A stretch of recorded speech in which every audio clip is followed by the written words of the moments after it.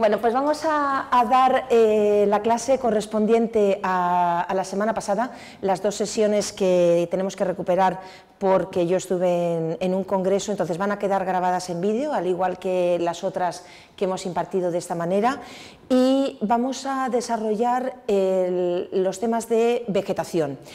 Dentro todavía del apartado de factores y componentes geográfico-físicos de España, estamos en, la primera parte del temario, hemos analizado el relieve y el clima, Bien, son los dos factores estructurales básicos que conforman la base del sistema físico-ambiental. En el caso de España nos permiten, entender cuáles son los, eh, los elementos fundamentales de, la construcción físico-ambiental mm, del país y como consecuencia de la síntesis de ambos, relieve y clima, vamos a encontrar unas manifestaciones distintas, unas diferencias, unos contrastes a, escala, a distintas escalas en los diferentes territorios de dos asuntos que vamos a ver a continuación esta semana.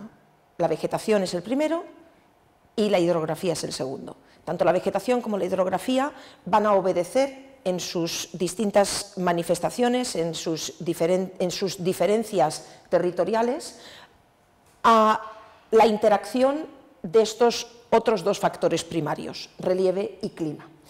Por tanto, eh, vamos a dedicar estas dos clases seguidas que se van a grabar al tema de la vegetación y el jueves de, eh, impartiré la clase relativa, la primera clase relativa a los aspectos hidrográficos. Ambos van a ser importantes para el desarrollo de la práctica externa que tenemos el viernes. El viernes 3 tenemos la salida de campo, haremos un transecto desde el corredor de Lenares, pasando por la cuenca del Sorbe, hasta la Sierra Norte de Guadalajara, y en ese transecto vamos a analizar aspectos de relieve, de clima, de vegetación y de hidrografía. Por tanto, es importante eh, este, toda esta información previa para poder sacar máximo rendimiento a la salida de campo del viernes. Bien, ¿Cómo vamos a, estructurar este, esta parte de los factores físico-ambientales? Vamos a desarrollarla a través de tres puntos principalmente. En primer lugar, veremos cuáles son los factores geográficos y su papel en la distribución de los paisajes vegetales. Esos factores geográficos, ya hemos dicho, básicamente son el relieve y el clima. Vamos a ver entonces cómo interactúan y de qué forma se manifiestan en, la conformación del paisaje vegetal. Y para ello me voy a basar sobre todo en, el, libro de, Casildo Ferreras y Mario Eugenia Arocena, que está publicado en la editorial Alianza, es, eh, forma parte de una serie llamada Guía Física de España. Y concretamente este libro, que es el dedicado a los bosques, realmente plantea de una forma muy clara y muy bien eh, escrita estos primeros asuntos de factores geográficos. A continuación veremos cuáles son las principales formaciones forestales en, España y me apoyaré sobre todo en los materiales del Atlas Nacional de España, que también es accesible a través de la web, concretamente el, el número relativo a, eh, no lo puedo ver en pantalla, el número relativo, perdón, a los espacios naturales, sí, el, número relativo a biogeografía, flora y fauna, espacios naturales protegidos, y en tercer lugar, veremos cuál ha sido la evolución de ese paisaje vegetal en relación con la acción humana. Es decir, de acuerdo con los sistemas, la sucesión de sistemas de aprovechamiento, los impactos, las políticas territoriales, y para ello me voy a apoyar sobre todo en el capítulo escrito por Josefina Gómez Mendoza y Antonio López Ontiveros en el Manual de España, que, ya tenemos en la bibliografía general, de los profesores Gil Orcina y Gómez Mendoza. Bien, sin más dilación, vamos entonces a comenzar las formaciones y los paisajes vegetales en España.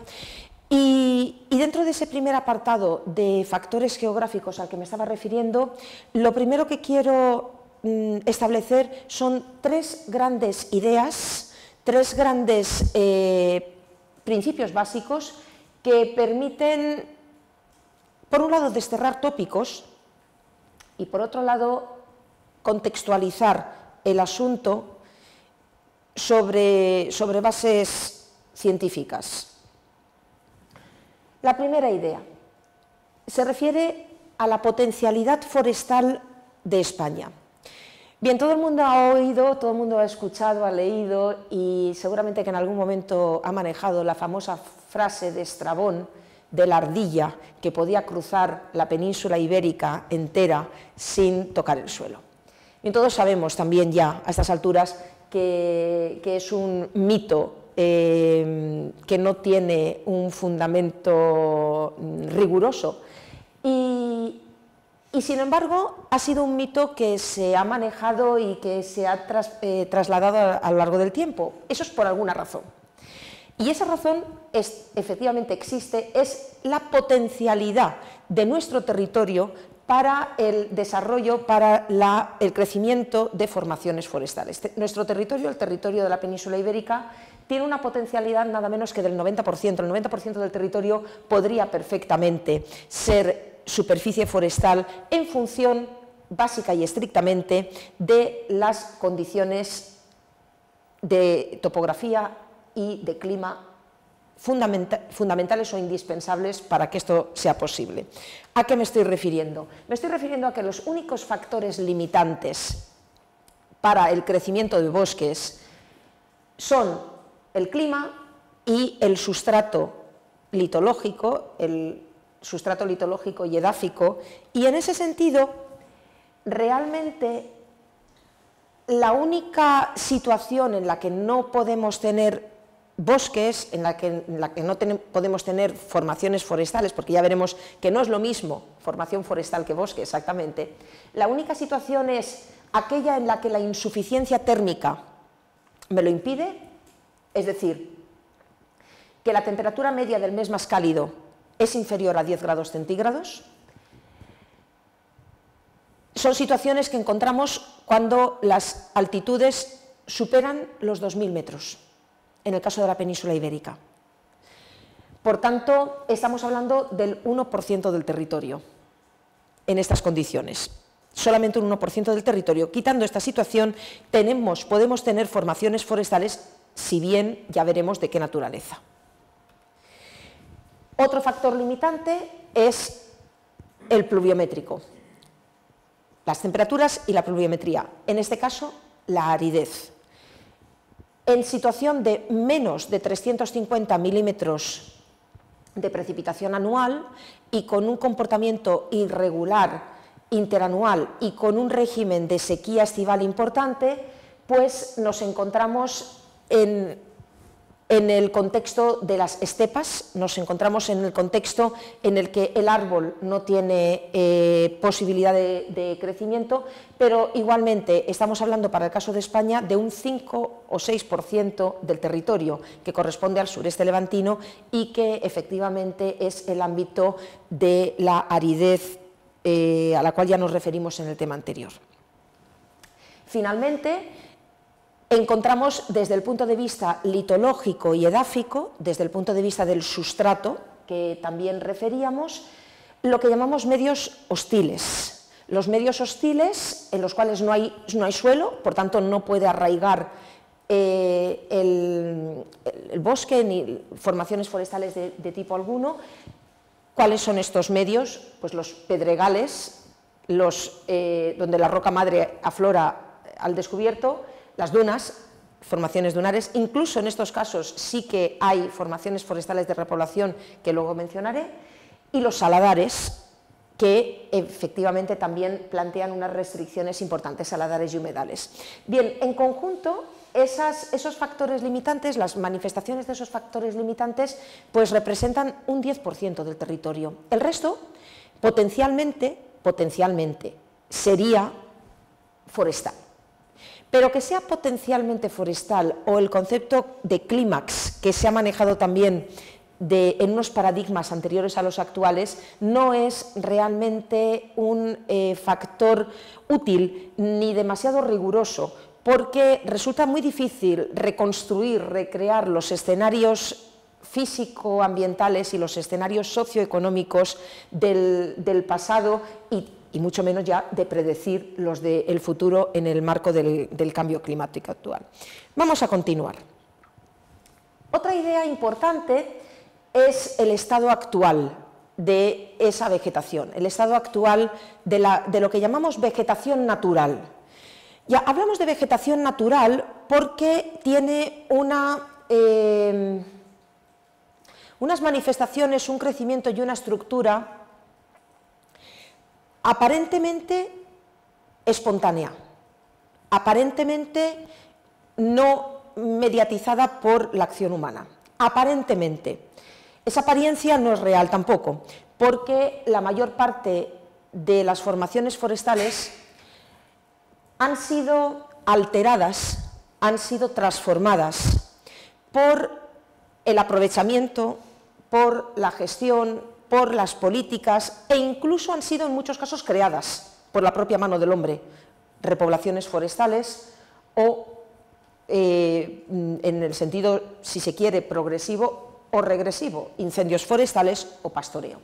Por tanto, el estado actual de las formaciones forestales no obedece únicamente al marco físico-ambiental, no obedece únicamente a los factores climáticos, edáficos, litológicos, orográficos, responde también en muy buena medida a la intervención humana. Por tanto, las formaciones forestales españolas, al igual que la mayor parte de las formaciones forestales de Europa, no son formaciones forestales naturales, no son bosques primarios, son formaciones transformadas, son espacios antropizados. Los bosques no son eh, espacios antropizados en la misma medida que los eh, las áreas de cultivo.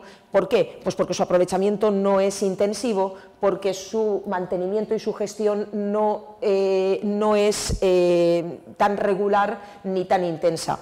Pero hasta ahí llega la, la diferencia. Es decir, que la presencia humana la presencia humana, la transformación humana y la intervención humana en los bosques es fundamental.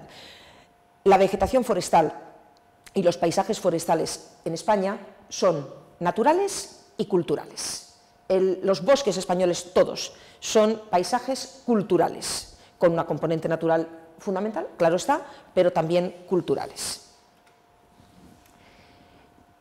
Este cuadro que, les pongo en, la diapositiva, eh, que mm, está, tomado de, una, eh, de, un informe de la Sociedad Española de Ciencias Forestales del año 2011, realmente no ha sufrido demasiadas alteraciones, muestra cuál es la distribución eh, en cifras totales y en porcentajes del bosque, si se le quiere llamar así, luego ya aclararé este asunto, de las superficies forestales en el mundo, por continentes y la posición de España.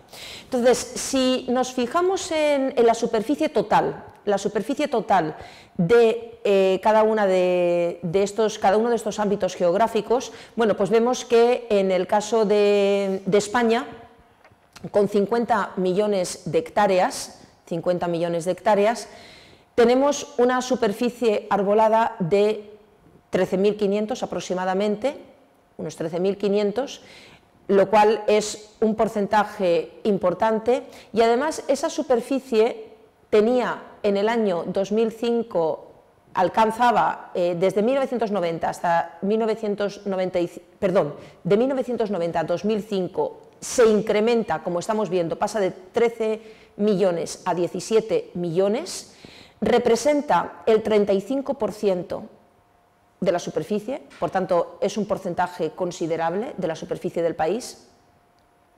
Y sin embargo, es un porcentaje reducido per cápita, es decir, lo que tocaría por, cada, por, cada, habitante. La variación, la variación que, que observamos es una variación de tasa de incremento, de tasa de crecimiento muy positiva, y es un primer dato que tenemos que tener en cuenta, es un primer dato que nos llama la atención. Si miramos Europa, incluyendo Rusia, que es la gran masa eh, forestal, y superficial, bueno, pues las cifras son muy elevadas y el porcentaje también es muy alto, pero si pasamos al de la Unión Europea de los 27, es decir, quitamos la parte eh, de Rusia que aporta un porcentaje importante, estamos en el 37% y España el 35%. Por tanto, el porcentaje de superficie forestal de España está en la media europea. Es algo que nos llama la atención, porque España es un país de cultura, de economía y de naturaleza principalmente agraria o agrícola. Desde el punto de vista económico, es mucho más rentable y es mucho más productivo el sector agrícola que el sector forestal, quitando la parte eurosiberiana que luego veremos. Y sin embargo, superficialmente tenemos un peso muy importante. En cuanto a renta per cápita, ya el porcentaje se reduce enormemente. Así que tenemos formaciones forestales que ocupan una gran superficie, equiparable al resto de los países de nuestro entorno, pero que tienen un bajo valor económico. Un bajo valor económico y además en un proceso de crecimiento, en un proceso de expansión que va a tener implicaciones sociales. Esta gráfica nos ilustra la situación de una forma todavía mucho más clara. En esta gráfica vemos que España es el tercer país de la Unión Europea de los 27 en el 2005 y actualmente con ese incremento todavía ha crecido más su posición en la gráfica. Es el tercer país de la Unión Europea en cuanto a superficie forestal arbolada arbolada, ni siquiera superficie forestal sensu estricto. El tercer país en cuanto a superficie forestal arbolada. Bueno, pues cuando vemos esto empezamos a pensar si realmente no estaremos volviendo a la España de Estrabón y sobre todo nos sorprende porque tenemos la idea contraria. Tenemos la idea de que cada vez hay más urbanización y menos bosque, que los bosques se queman, que estamos terminando con nuestra superficie forestal pues todo lo contrario. Tenemos una percepción desde los ámbitos urbanos y desde el modelo de economía imperante que no se corresponde a la realidad territorial. La realidad territorial nos muestra que estamos en superficie arbolada, arbolada, por encima de Francia, de Alemania, de Italia, por supuesto el resto de países. Solamente nos superan de nuestro entorno comunitario Suecia y Finlandia, en superficie arbolada. Ahora bien, ¿a qué tipo de superficie arbolada nos estamos refiriendo? ¿De qué tipo de arbolado estamos hablando? ¿Cuáles son nuestros bosques? ¿Cómo son nuestros bosques? Y aquí es donde tenemos que parar, porque no podemos hablar de una forma general y genérica de vegetación forestal, superficies forestales y compararnos con el resto de los países del entorno simplemente con grandes cifras y además de carácter superficial.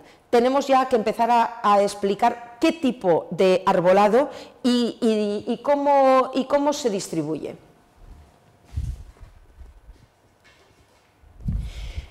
Bien, y antes de hacer esto, es el momento ya también de aclarar conceptos. ¿Qué es eh, formación forestal, bosque, monte,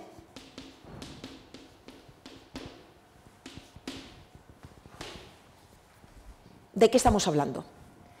¿Qué es superficie forestal arbolada? Cuando manejamos estos conceptos, ¿estamos diciendo lo mismo en todos los países y en todos los idiomas? No. ¿Qué es formación, formaciones forestales? Dentro de formaciones forestales, en, español y de acuerdo con nuestra legislación, es decir, idiomáticamente y jurídicamente, incluimos de una forma genérica todo lo que no es agrícola. Se definiría en términos negativos. Es el negativo de la imagen del cultivo, es el negativo de la agricultura. Son todas las comunidades, eh, comunidades vegetales, comunidades vegetales de naturaleza Vamos a ponerlo aquí arriba. Comunidades vegetales de naturaleza arbórea, arbustiva,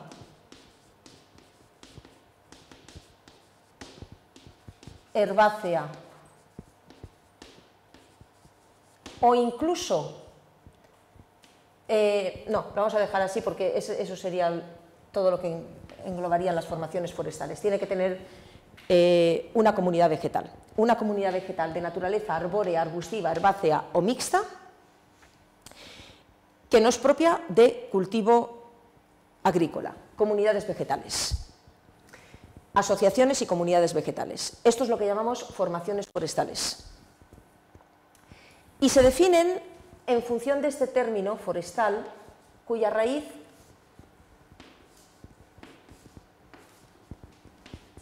foresta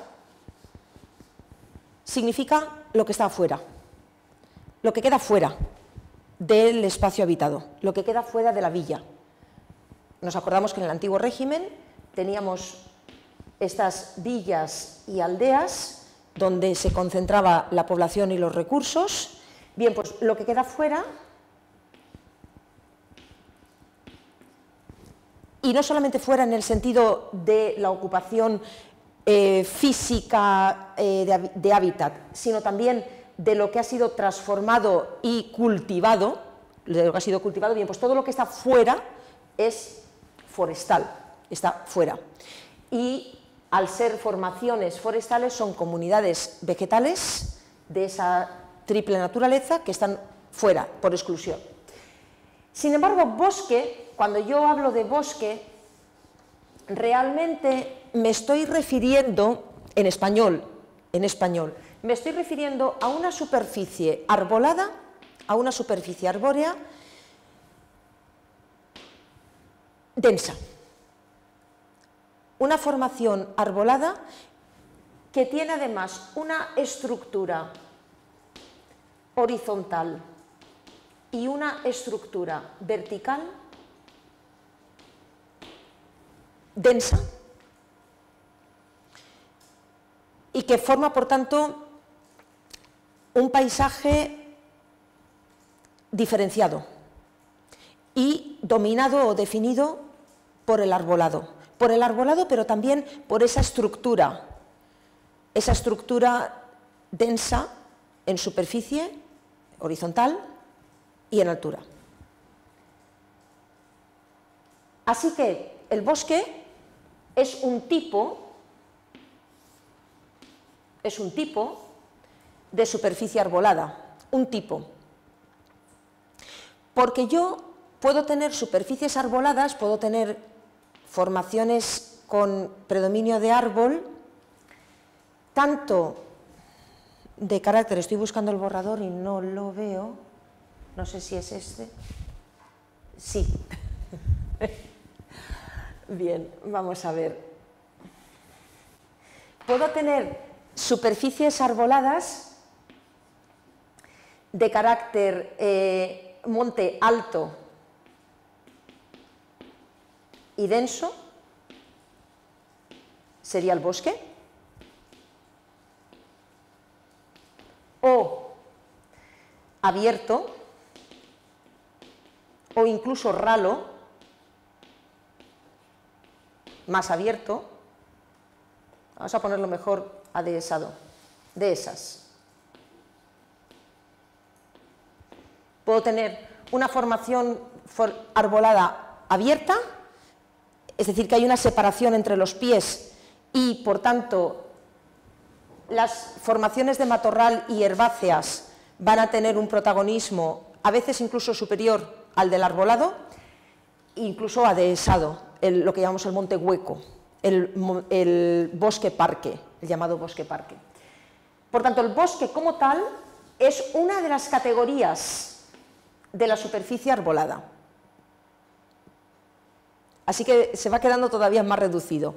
Mientras que cuando hablamos de forestal y de superficie arbolada y de bosque, refiriéndonos a los otros países, particularmente a Finlandia, a Suecia, a Francia, Alemania, están refiriéndose casi de forma exclusiva, Francia no, refiriéndose casi de forma exclusiva a la superficie arbolada y casi toda, además, es de esta naturaleza. Por tanto, nuestra superficie forestal es muy extensa, pero degradada y de una naturaleza poco productiva, poco viable para la gestión y con dificultades para el aprovechamiento en el marco actual. Me quedaría el monte. ¿Qué es monte?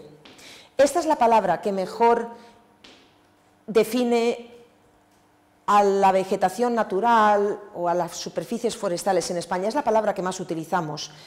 Nos cuesta diferenciar monte y montaña, porque hemos dicho al principio de, la asignatura que España es un país montañoso.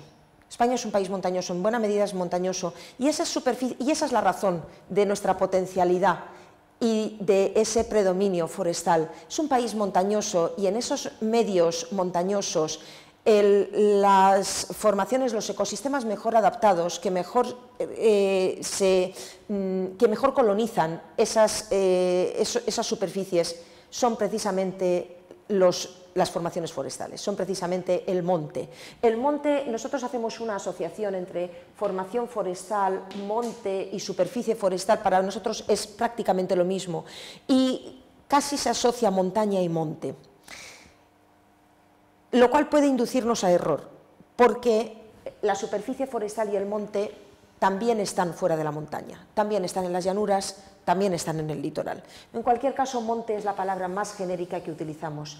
Y este monte, este monte es el que se utiliza jurídicamente, además es nuestra ley de montes, es el concepto y es la palabra y es el referente que manejamos para elaborar estadísticas, el que se manda a la Unión Europea. Por tanto, muchas veces esa representación que tenemos ahí, superficie forestal arbolada, ¿y qué significa eso? ¿Significa que tenemos ese porcentaje de bosque? No. No, en absoluto. De esa superficie forestal arbolada, la mayor parte es de esta naturaleza, eh, perdón, de la, segunda, la abierta, de naturaleza abierta o incluso adhesada, como vamos a ver a continuación. Es decir, que bosque denso, bosque denso productivo, se reduce a un porcentaje pequeño. Desde luego no tendría ese alcance. Estas cuestiones conceptuales son importantes si se entienden si comprendemos la naturaleza mediterránea de nuestro país y la naturaleza montañosa de nuestro país.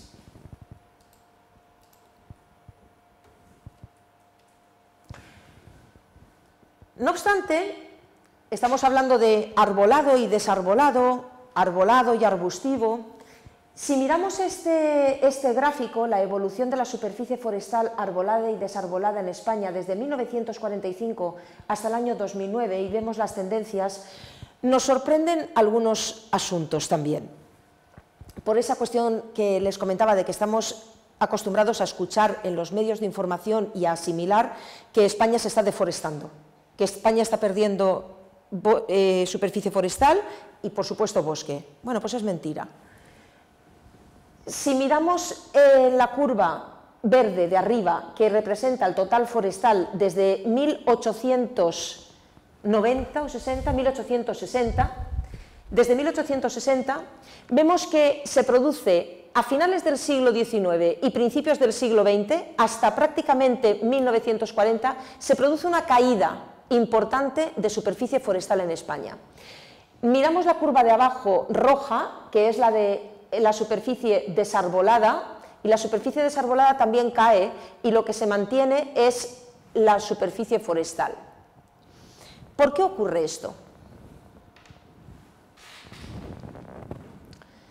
¿Por qué, se produce esa pérdida de superficie forestal a finales del siglo XIX y, y para prácticamente, bueno, toca fondo en 1950 y a partir de aquí la remontada. La remontada con una tendencia muy ligera y muy suave al incremento.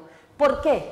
¿Por qué se pierde superficie forestal hasta aquí y sobre todo superficie forestal no arbolada. ¿Por qué? Esa superficie forestal no arbolada, no arbolada, ¿qué es? Es arbustiva y es herbácea. ¿Y para qué sirve? ¿Cómo se utiliza? ¿Qué es? ¿Por qué? Predomina y además vemos muy clarísimamente que toca fondo en 1950 y a partir de ahí empieza a recuperarse. ¿Se convierte en tierras de cultivo? Mm, sí, hay un proceso de roturación importante, efectivamente, hay un, hay un cambio de, de uso del suelo y un paso de lo forestal a lo agrícola, es verdad. Es verdad, pero eh, también hay otra eh, cuestión aquí que no he metido, que es el improductivo.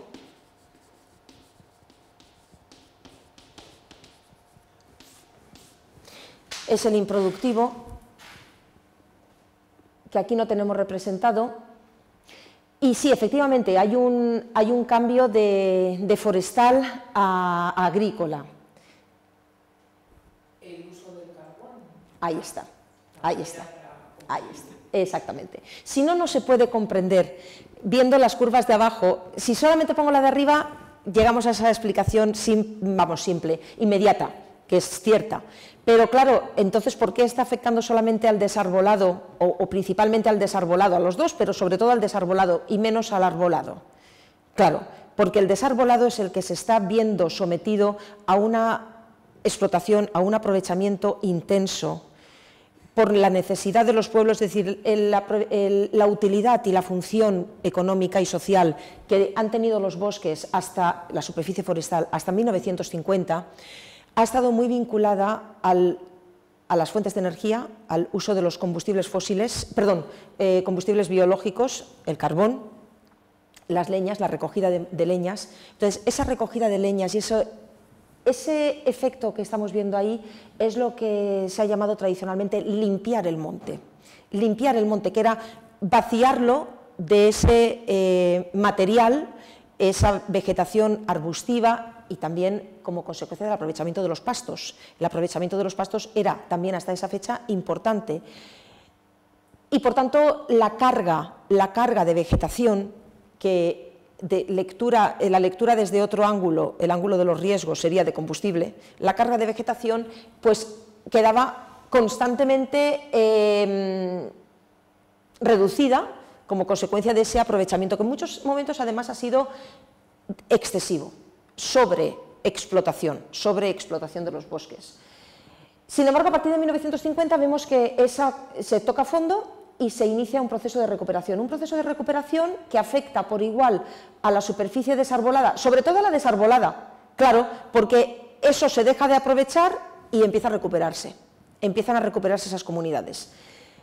La superficie arbolada mantiene una tendencia más o menos horizontal, más o menos constante, y llega un momento, años, mediados de los años 80, en que se produce el cruce, en el que de repente la superficie arbolada sube por encima de la desarbolada.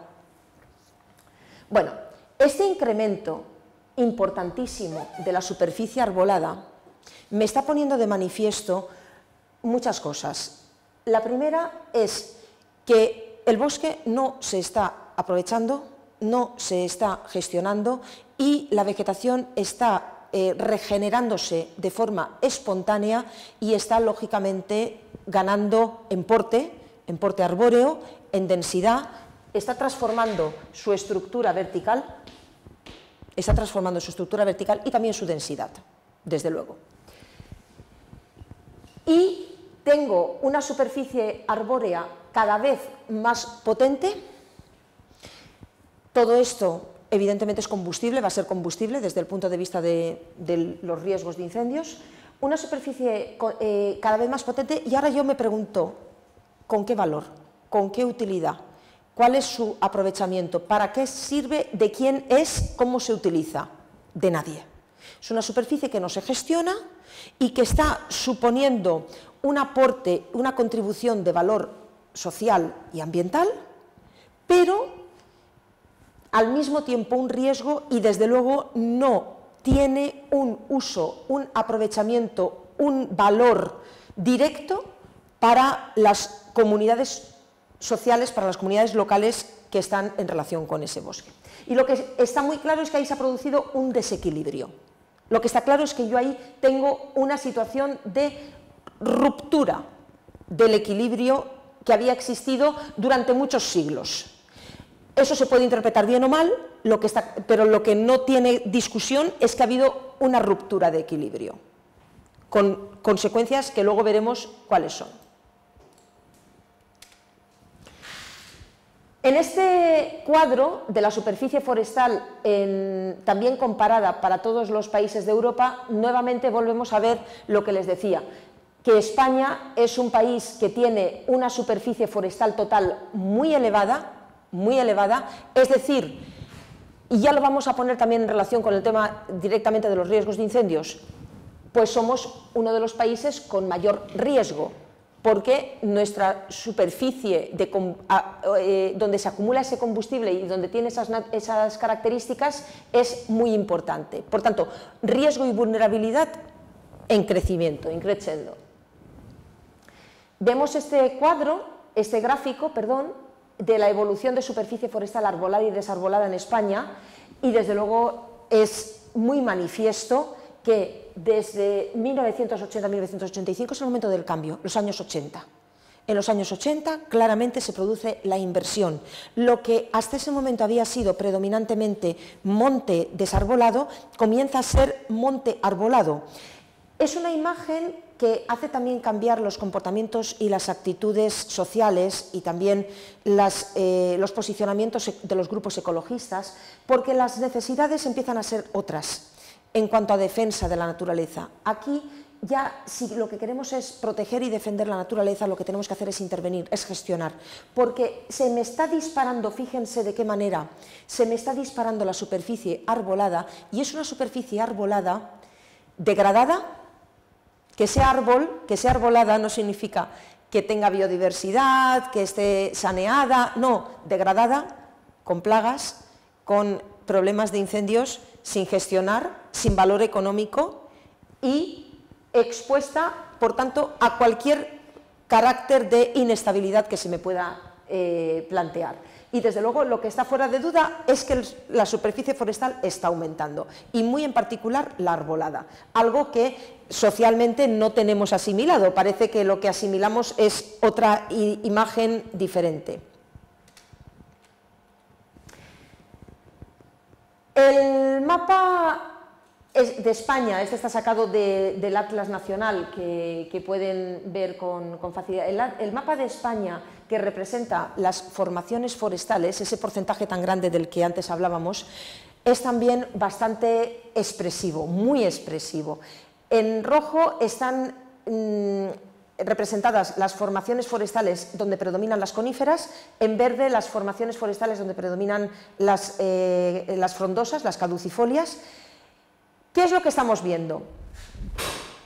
Hay un y en amarillo las mixtas. Estamos viendo, en primer lugar, que hay una distribución bastante mm, imbricada, o sea, no hay una separación clara de patrones coníferas frondosas, pero desde luego en la zona más seca de España predominan las coníferas, el bosque de coníferas mediterráneo que luego veremos. Mientras que en la zona más húmeda tenemos un predominio de frondosas, o, tienen más presencia las frondosas, pero también las coníferas productivas. Y luego están los bosques mixtos. Y lo que vemos también es que la mayor parte del solar peninsular, quitando las zonas más eh, llanas ocupadas precisamente por asentamientos y cultivos agrícolas, está dominado por superficies forestales. Por tanto, sí es cierto. Es cierto que España es un país forestal, desde el punto de vista superficial, es cierto. Pero esa naturaleza forestal no podemos equipararla, no podemos asimilarla a la naturaleza forestal de los otros países europeos. Bien, esto en relación a la segunda idea. Habíamos dicho que íbamos a plantear tres ideas iniciales. La potencialidad forestal, el estado actual y, en tercer lugar, otra idea muy importante que es nuestra riqueza florística, nuestra riqueza de especies, particularmente las especies arbustivas y herbáceas, nuestra biodiversidad. España, no solamente la España peninsular, principalmente, claro, la España insular y sobre todo el archipiélago canario, es un es el país de Europa con mayor biodiversidad tenemos la mayor riqueza florística. También como consecuencia de esa simbiosis de los dos factores a los que me estoy refiriendo, relieve y clima. Tanto en la España atlántica como en la España mediterránea, nuestras formaciones vegetales presentan unos rasgos, unos caracteres de singularidad y de riqueza y diversidad que son muy superiores en términos, en términos ecológicos a los del resto de los países de nuestro entorno.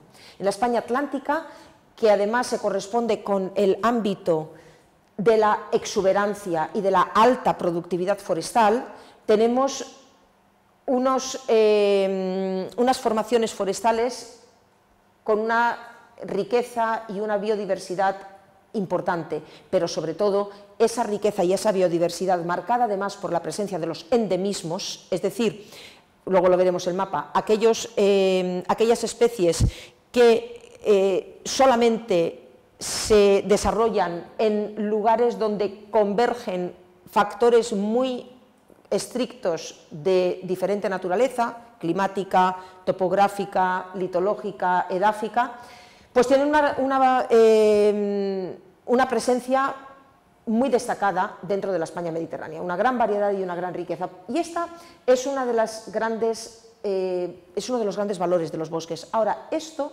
no vale dinero, esto no está valorado monetariamente, esto no está valorado económicamente. Así que las formaciones forestales españolas tienen una enorme presencia superficial,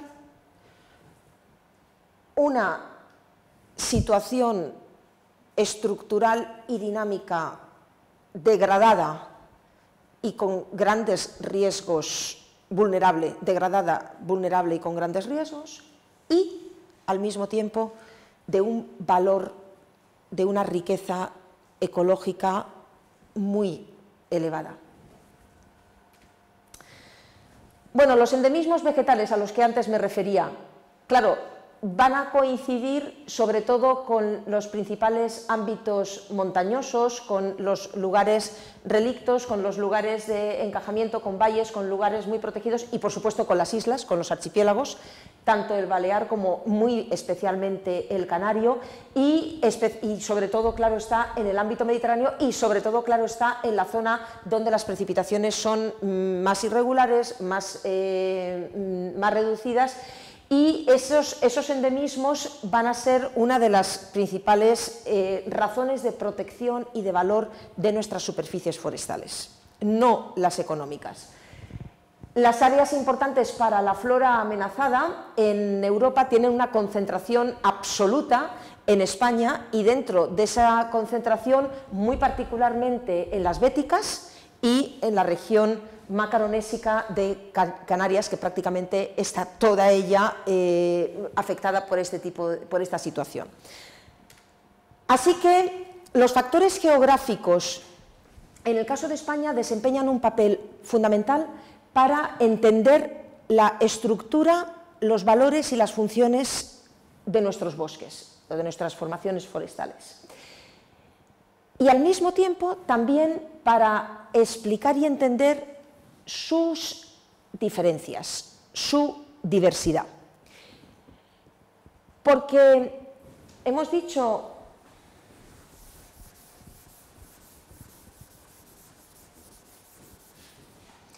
que uno de los valores, vamos a marcar aquí lo positivo, uno de los valores de estas formaciones forestales es precisamente la biodiversidad,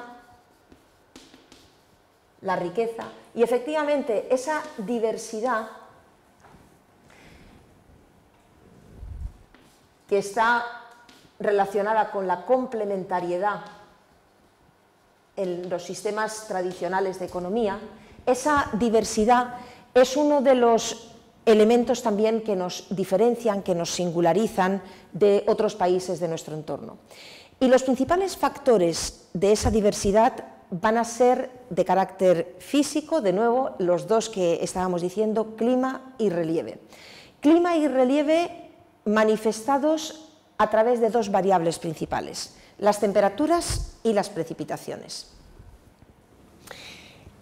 España es un país montañoso, habíamos dicho, es un país montañoso en el cual van a intervenir, van a jugar eh, a la hora de plantear diversidad en las formaciones forestales varios asuntos. El primero de los asuntos es la altitud.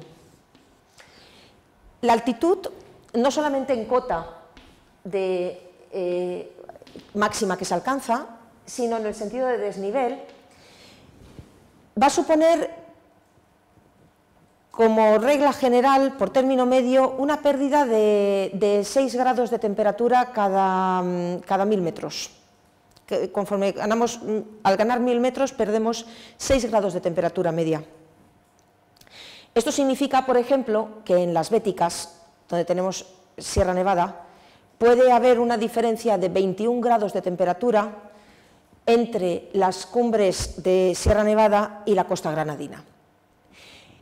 Las béticas, que es el, espacio, la unidad morfoestructural, el conjunto morfoestructural que ya vimos más complejo, de mayor diversidad y de un carácter montañoso más, eh, más complejo, más imbricado, va a presentar desde el punto de vista de las formaciones forestales unos contrastes y unas diversidades y unos endemismos, ya lo hemos visto, considerables. Precisamente como consecuencia de estos parámetros. El primero, los, las diferencias de altitud en relación a factores térmicos. Pero no solamente está el factor de altitud, que por supuesto también me va a afectar a precipitaciones, está igualmente el factor de exposición a barlovento o a sotavento, que me va a marcar diferencias pluviométricas que se trasladarán inmediatamente al carácter de las formaciones forestales, diferenciándome muchas veces, precisamente por esta exposición de barlovento o sotavento, formaciones de predominio de coníferas o de predominio de frondosas, según la mayor o menor humedad.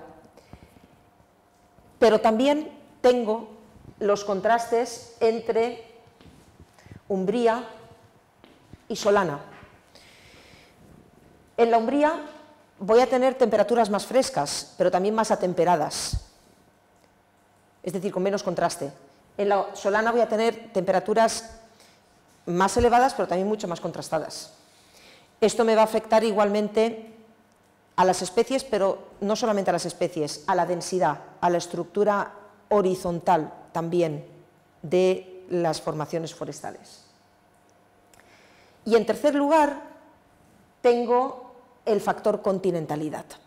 El factor continentalidad va a ser también un eh, aspecto que va a influir notablemente y que me va a condicionar también las situaciones de mayor o menor frecuencia de inversiones térmicas en los valles, que me van a condicionar igualmente la posibilidad del desarrollo de unas formaciones u otras.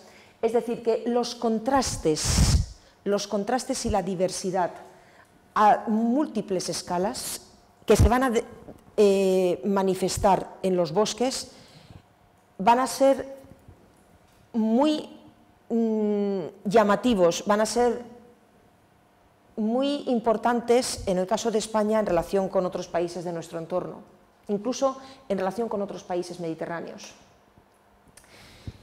Esto en cuanto a temperatura y precipitaciones relacionadas con altitud y continentalidad, exposición y orientación.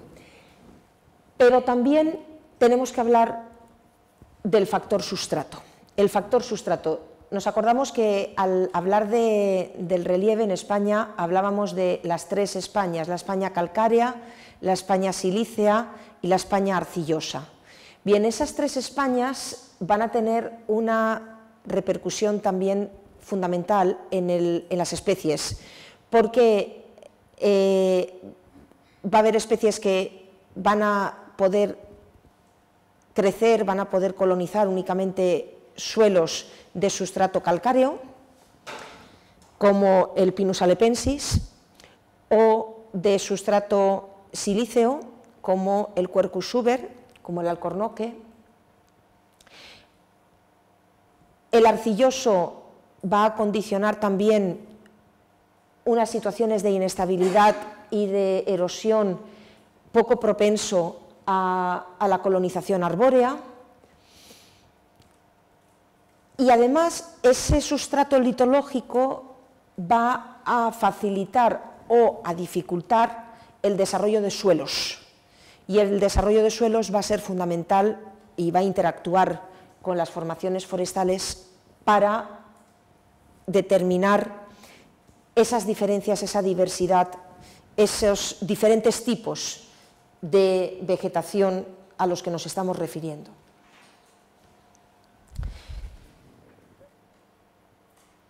Claro, esa diversificación que provocan los factores geográficos, principalmente clima, relieve y sustrato, esta diferenciación que provocan estos tres principales factores geográficos, clima, relieve y sustrato, sustrato litológico, se van a manifestar en la biodiversidad. Es decir, la biodiversidad va a ser la consecuencia de la interacción, de la combinación de esos tres factores. Y la biodiversidad, hemos dicho ya, va a alcanzar unas manifestaciones muy sobresalientes en el caso de España. La biodiversidad es la que mm, resulta de la presencia de regiones biogeográficas muy contrastadas sobre un territorio que no tiene una superficie tan extensa. Regiones biogeográficas muy contrastadas, tan contrastadas como lo son la región eurosiberiana, la región mediterránea y la región macaronésica. Tres regiones, la primera, la región eurosiberiana que tenemos marcada en los verdes, la región mediterránea que tenemos marcada en los ocres y rojos, la región macaronésica que tenemos marcada en los azules. Tres regiones con características absolutamente diferentes, absolutamente diferentes, que además interiormente se compartimentan en provincias también distintas, provincias distintas que son consecuencia de esos tres factores a los que nos hemos referido, y que dan lugar a, unos, eh, a unas comunidades vegetales diferenciadas, más allá de las especies, más allá incluso de la estructura vertical u horizontal de esas formaciones. Las tres regiones tienen una marcada eh, influencia climática, por supuesto, el clima es el factor determinante, en esta diferenciación, pero también un matiz fundamental por parte del relieve, que como estamos viendo nos separa sobre todo los grandes conjuntos orográficos, los grandes conjuntos montañosos y nos los diferencia, y ese relieve también relacionado con la litología a la que nos hemos referido igualmente. Bien, pues vamos a, tratar ahora de eh, reconocer y vamos a tratar de establecer y caracterizar, reconocer, establecer y caracterizar los diferentes tipos de formaciones forestales que encontramos en España de acuerdo con esa diversidad, de acuerdo con esa biodiversidad, de acuerdo con esa interacción de factores geográficos. Y esos bosques, esas formaciones forestales van a ser básicamente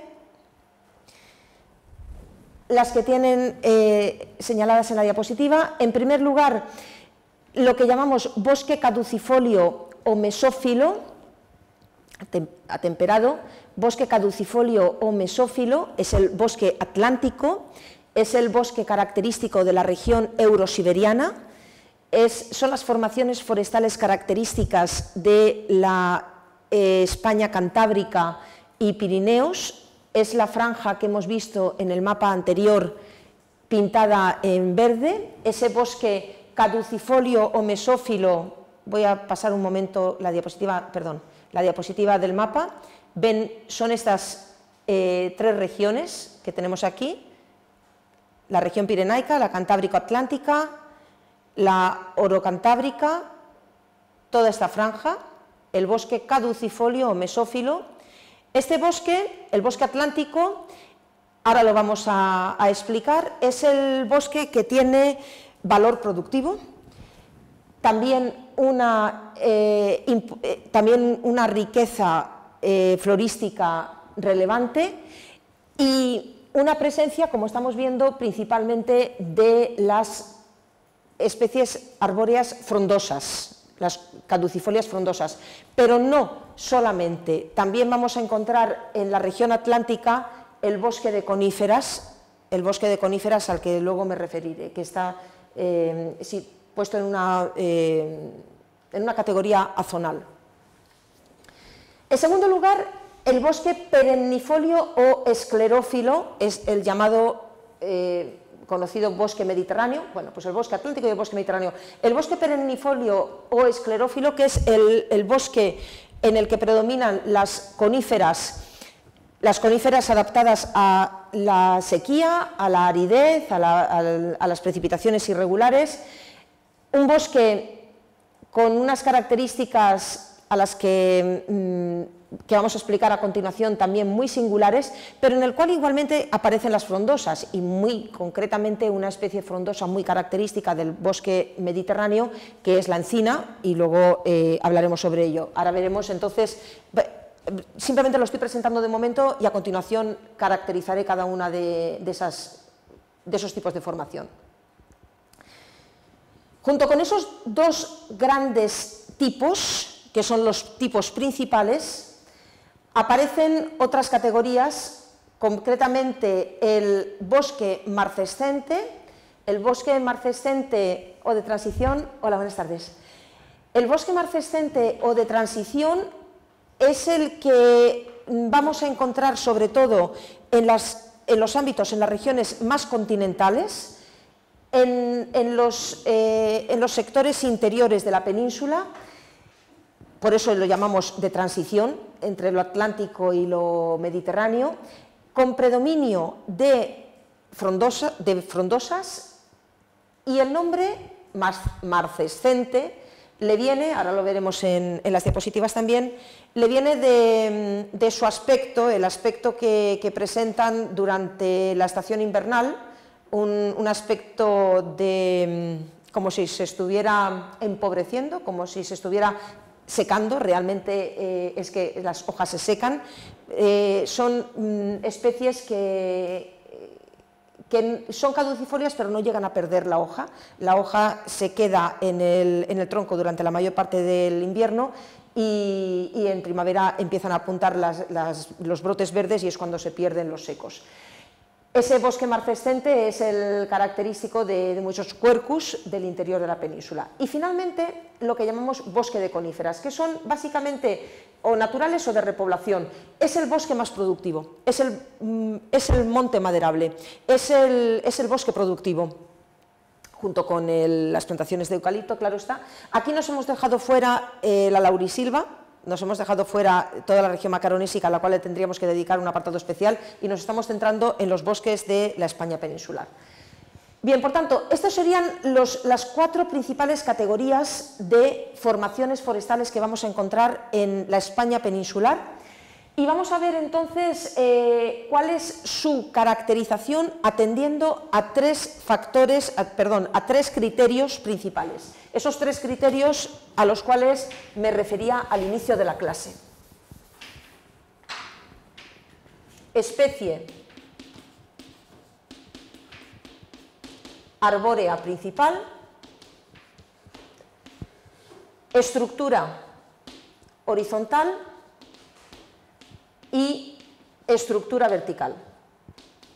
Son los tres criterios que nos van a permitir caracterizar, tipificar y caracterizar estos diferentes eh, grupos de formaciones forestales.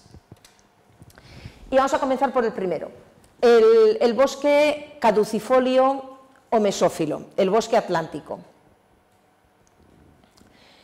Es un bosque sensu estricto.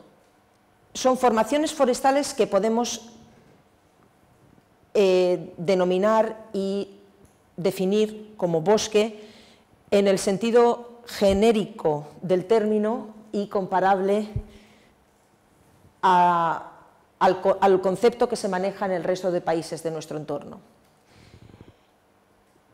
Es un bosque que está adaptado al, ritmo vital de las condiciones climáticas y ese ritmo vital de las condiciones climáticas es un ritmo templado, es un ritmo en el que las temperaturas, de ahí su nombre mesófilo, en el que las temperaturas no son eh, muy contrastadas a lo largo del año, son frescas en verano y frescas frías en invierno, pero no tienen grandes eh, oscilaciones y sobre todo la precipitación es regular. Son bosques que no sufren estiaje, que no sufren el, eh, estiaje de verano. Por esa razón, tienen eh, un ciclo vital que, que dura todo el año y esto supone una adaptación morfológica, una adaptación morfológica del árbol Básicamente a lo que es en este caso la principal limitación. La principal limitación para este tipo de bosques no es ni la térmica ni la pluviométrica. La principal razón es, para estos bosques,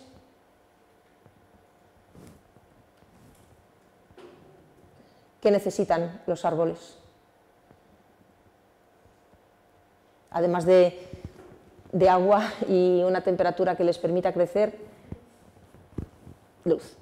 La principal limitación en estos casos es la insolación, las horas de sol son limitadas y por esa razón son bosques que desarrollan un ramaje, eh, unas copas abiertas, eh, unas formaciones de eh, incluso las propias hojas de ahí su carácter de frondoso, frondoso, frondosas en el, claro, para el desarrollo morfológico adaptado a esas limitaciones de luz que tienen que aprovechar al máximo para sus funciones de fotosíntesis, de tal manera que eh, son bosques que tienen una estructura de gran desarrollo del, del, tronco, pero sobre todo de las ramas y de las hojas, son formaciones frondosas, altas, que apenas dejan llegar la luz al suelo, porque la luz se capta en las copas, esto significa que al llegar poca luz al suelo hay, poco desarrollo del sustrato herbáceo y arbustivo frente al desarrollo de las copas. Tienen una estructura, por tanto, de desarrollo vertical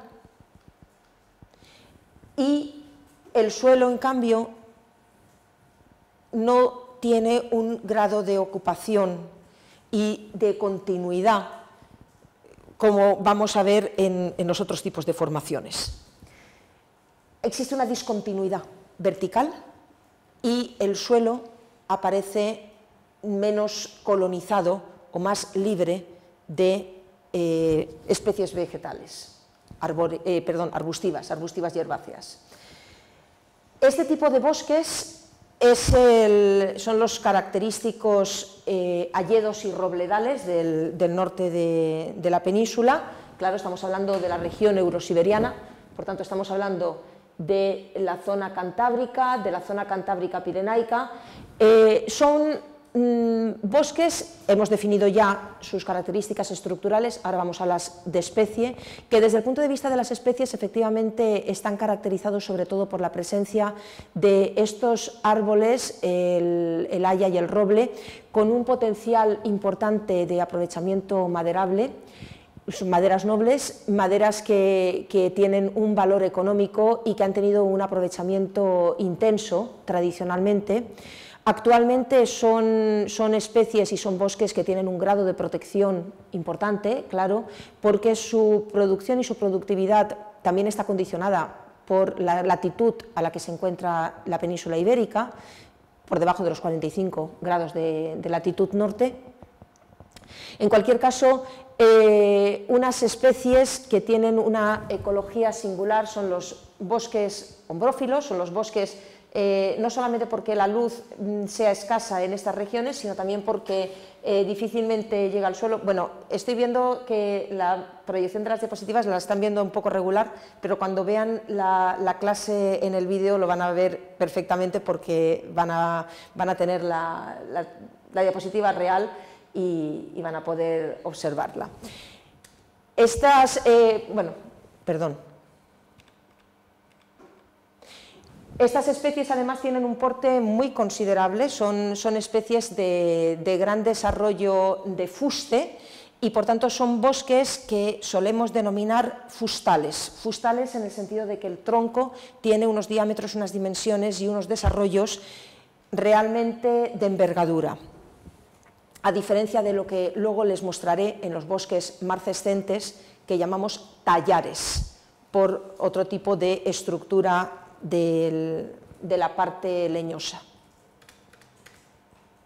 Estas fichas de las especies están sacadas directamente del Atlas Nacional y las tienen para todos. Bien, el segundo tipo de formación forestal es el, el llamado bosque esclerófilo mediterráneo, el bosque perennifolio, el bosque esclerófilo mediterráneo. Es un bosque que también, en este caso, está adaptado a las condiciones climáticas, básicamente, y concretamente esas condiciones climáticas, ¿cuáles son sus limitaciones? Siempre son las limitaciones las que, las que me van a marcar eh, el carácter estructural. Pues la principal limitación es la cantidad de precipitación escasa, la distribución de esa precipitación irregular y por tanto la necesidad de adaptarse al estrés hídrico, al estrés hídrico y a unos eh, niveles de evapotranspiración muy importantes. Para ello, para adaptarse al estrés y a la evapotranspiración, estos bosques presentan desde el punto de vista de las especies un predominio efectivamente de las coníferas, es decir, de los árboles que sustituyen las hojas por agujas para reducir la superficie expuesta a evapotranspiración y sus frutos son conos que también tienen una capacidad de, em, de regeneración mucho más importante, mucho más eh, fácil y rápida en relación a el fuego. Son bosques que están adaptados al fuego, son especies pirófitas, son especies adaptadas y que necesitan el fuego. Además, en buena medida se regeneran a partir del fuego y esas eh, piñas, esos conos, eh, sus semillas precisamente explotan y germinan con más facilidad en función de las cenizas y por tanto eh, son, especies y es una estructura forestal que está adaptada a unas condiciones séricas y a una frecuencia del fuego natural muy eh, regular, cosa que no ocurre en el bosque atlántico. Eh, por tanto, especies perennifolias no pueden permitirse el lujo de renovar el follaje cada estación porque el, ciclo vital tiene una estacionalidad mm, muy marcada, no como en el bosque atlántico. Y sus estructuras y dinamismo, ¿cómo es esa estructura y esos dinamismos? Absolutamente distinta al del bosque atlántico. La estructura en este caso es una estructura muy densa desde el punto de vista superficial, porque en este caso el factor limitante, como estamos diciendo, es el agua, pero no la luz. La luz, por el contrario, es un, factor generoso y es la que permite un desarrollo muy eh, intenso del matorral, de las formaciones arbustivas, de las formaciones rastreras, de las formaciones que colonizan el suelo, pero con un desarrollo mucho mayor eh, superficial que, aéreo. Es decir, el mayor desarrollo en, en este tipo de bosques lo tenemos en las raíces, en la parte reticular. Por tanto, contribuyen además a la fijación del suelo, en unos suelos que son pobres, de menor desarrollo, fijan y sujetan las formaciones edáficas, pero no tienen un desarrollo aéreo, no, alcanzan un desarrollo vertical que permita pues, la formación de fustes, la formación de troncos con un valor maderero y con un aprovechamiento de madera. Aquí, por el contrario, el aprovechamiento y el valor principalmente es de leña, no de madera. Las leñas son especies leñosas, son especies leñosas y además resinosas, ese carácter resinoso y aromático está adaptado también a el, tipo de, clima, a, esa naturaleza sérica, que hace que la estructura horizontal se desarrolle enormemente en los niveles bajos, en cambio la estructura vertical tiene un desarrollo muy limitado y sobre todo abierto. Es decir, los árboles no llegan a cerrar el, eh, normal, en unas condiciones normales, no llegan a cerrar eh, en unas condiciones normales me refiero de aprovechamiento y de gestión. No llegan a cerrar el, conjunto de la formación, sino que estamos hablando sobre todo de, em, de bosque, en lo que llamamos el bosque hueco, el bosque abierto, cuya evolución más avanzada es ya la dehesa la dehesa entendida ya como otro tipo de estructura, como otro tipo de sistema que ahora presentaremos también. Bien, en este, en este bosque vamos a encontrar sobre todo, como digo, coníferas, sobre todo distintas especies del género Pinus, Pinus, Juniperus, eh, vamos a encontrar distintos tipos de coníferas, pero también frondosas. También frondosas adaptadas, en este caso, a las condiciones séricas y destacando fundamentalmente dos, los encinares y los alcornocales. La diferencia entre ambos, una diferencia de sustrato, una diferencia litológica. El encinar lo vamos a encontrar en los suelos calcáreos y los alcornocales en los suelos silíceos. Por tanto, nos van a mostrar esa presencia de uno y otro conjunto. Quédense con esta idea también porque la vamos a eh, utilizar el viernes en la salida. El mapa, en este caso, completamente diferente. Si vemos eh, este, este, mapa eh, de la presencia y el desarrollo de la encina, pues nos puede sorprender de forma importante cómo se introduce incluso en el sector más meridional de la región eurosiberiana. Es cierto que la deja en buena medida eh, libre, pero eh, tiene una, introducción importante incluso en el piedemonte de los Pirineos, en las cordilleras catalanas, por supuesto, y prácticamente engloba o se manifiesta, se desarrolla en toda la península, incluido las zonas donde tienen un predominio silíceo, pero también hay afloramientos de bandas calcáreas. El alcornoque tiene una presencia mucho más limitada, mucho más reducida, porque en el caso del alcornoque el factor limitante absoluto es el litológico, es el sustrato. Por tanto, es una especie que está directamente relacionada con esa presencia de suelos ácidos.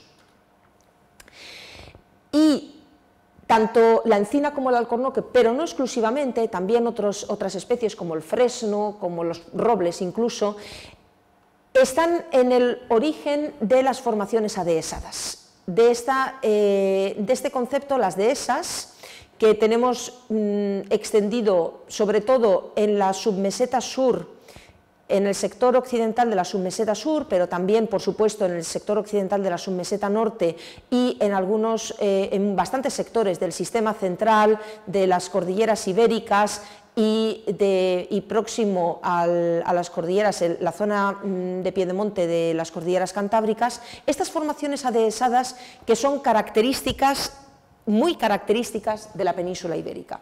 Las vamos a encontrar también en, Italia, las vamos a encontrar también en Marruecos, pero sobre todo son características de la península ibérica, de España y de Portugal.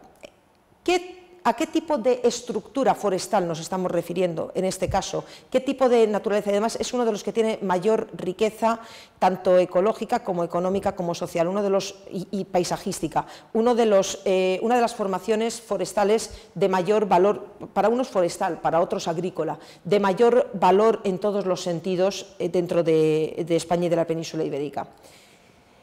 Bien, ¿qué son las dehesas exactamente? Y cuál es ese valor, esa, especificidad dentro de las formaciones forestales y su principal valor. Las dehesas no se definen estrictamente como formaciones forestales porque en realidad no lo son.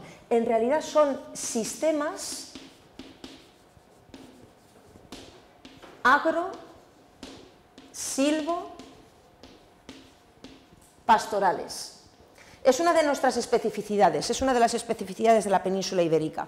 Sistemas agro, silvo, pastorales. Tienen los tres usos, los tres aprovechamientos conjuntos. Por un lado, son agrícolas, son superficies que se pueden, se pueden, no necesariamente, pero se pueden cultivar, se pueden cultivar de cereales, es lo más frecuente, por lo tanto son sistemas de aprovechamiento integrado para el cultivo de, y por tanto muy adaptados al aprovechamiento tradicional de las comunidades locales, el, aprovechamiento agrícola, sobre todo de cereales, pero también pueden tener viñedo, también pueden tener cultivos leñosos. Silvo, porque la presencia del árbol, el árbol que suele ser eh, oncina o alcornoque principalmente, pero que como digo, también puede ser roble, también puede ser fresno, y son bastante frecuentes. El árbol que tiene una presencia eh, no dominante, sino aislada como referente y que mm, va a aportar a este sistema socioeconómico sombra, lo primero, para el ganado, fruto para el ganado, difícilmente madera, no es el principal aprovechamiento de la dehesa, pero sí leñas, sí leñas tanto para el aprovechamiento energético como para, eh, de cama para el ganado. En menor medida, pero también la hojarasca. Por tanto, el árbol como aprovechamiento forestal. Y claro, en el caso del alcornoque, nada menos que la corteza, con un valor importante, el corcho.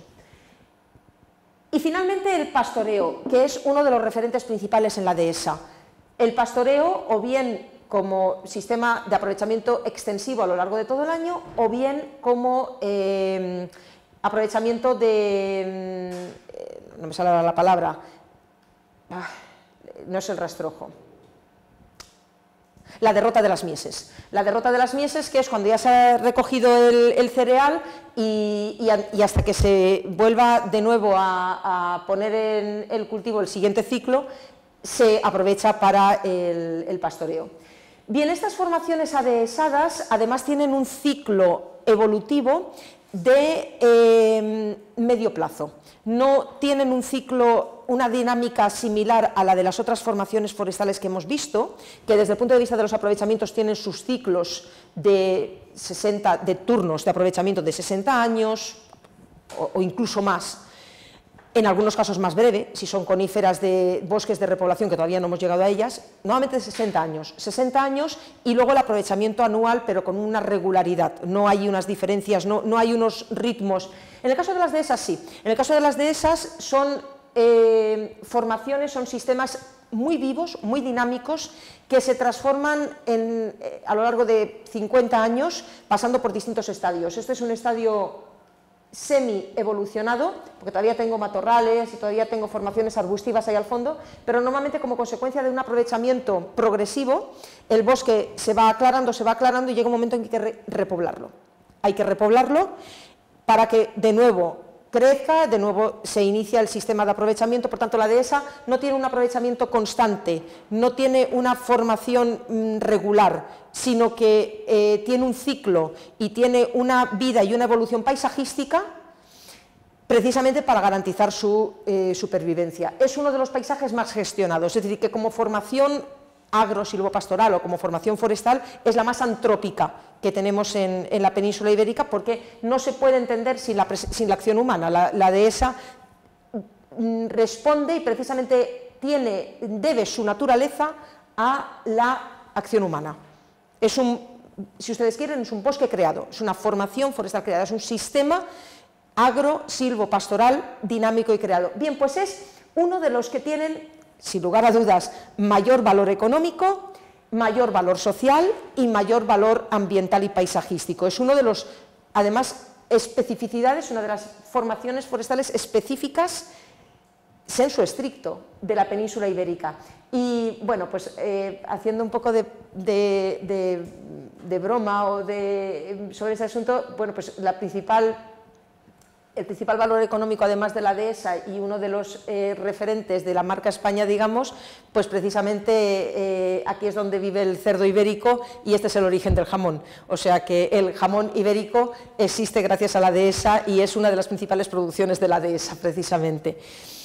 Bien, la dehesa, eh, estas formaciones adehesadas, por otro lado, son un ejemplo y además hemos visto que en la península ibérica tiene una gran extensión, es uno de los ejemplos mm, también más destacados que tenemos de formación resiliente al fuego. no solamente es que está adaptada, es que es resiliente, es decir, no pierde su carácter, las de esas se incendian, por supuesto, pero aquí no puede haber jamás, es imposible, un gran incendio. Imposible. Imposible porque Aquí no se pueden desarrollar eh, ese tipo de eh, situaciones convectivas porque no hay eh, mm, ese carácter de continuidad y de, concentración del combustible y por otra razón también muy importante, y es que están adaptadas a la, presencia del fuego y al aprovechamiento y transformación permanente. Es decir, que esto no es que no se queme, claro que se quema, pero es resiliente al fuego y no es vulnerable de la misma medida, en la misma medida a los grandes incendios.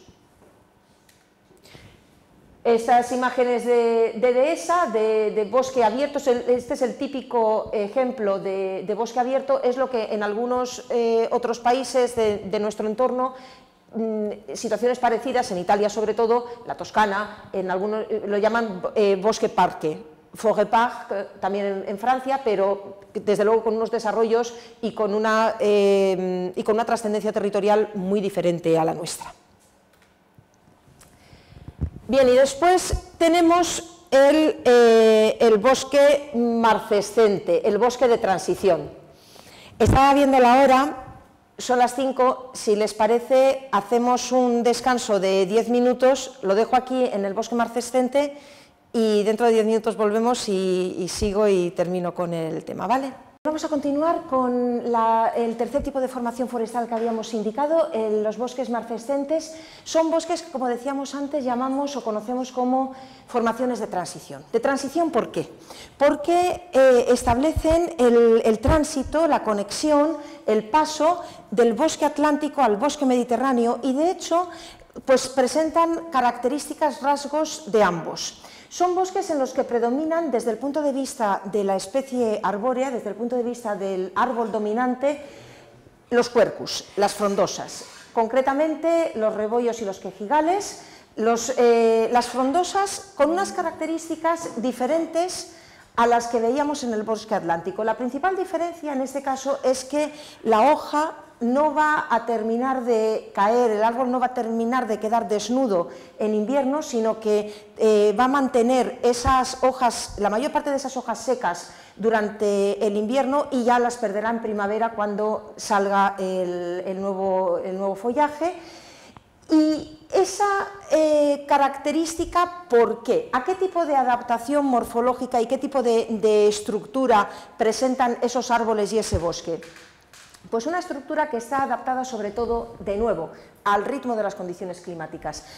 A unas condiciones climáticas que son más duras, unas condiciones climáticas que desde el punto de vista térmico ya son continentales, es decir, con contrastes, con amplitudes térmicas anuales importantes, con unas temperaturas más duras en invierno y mucho más calurosas en verano, pero sobre todo más duras en invierno, y además eh, ya con una situación de estrés hídrico.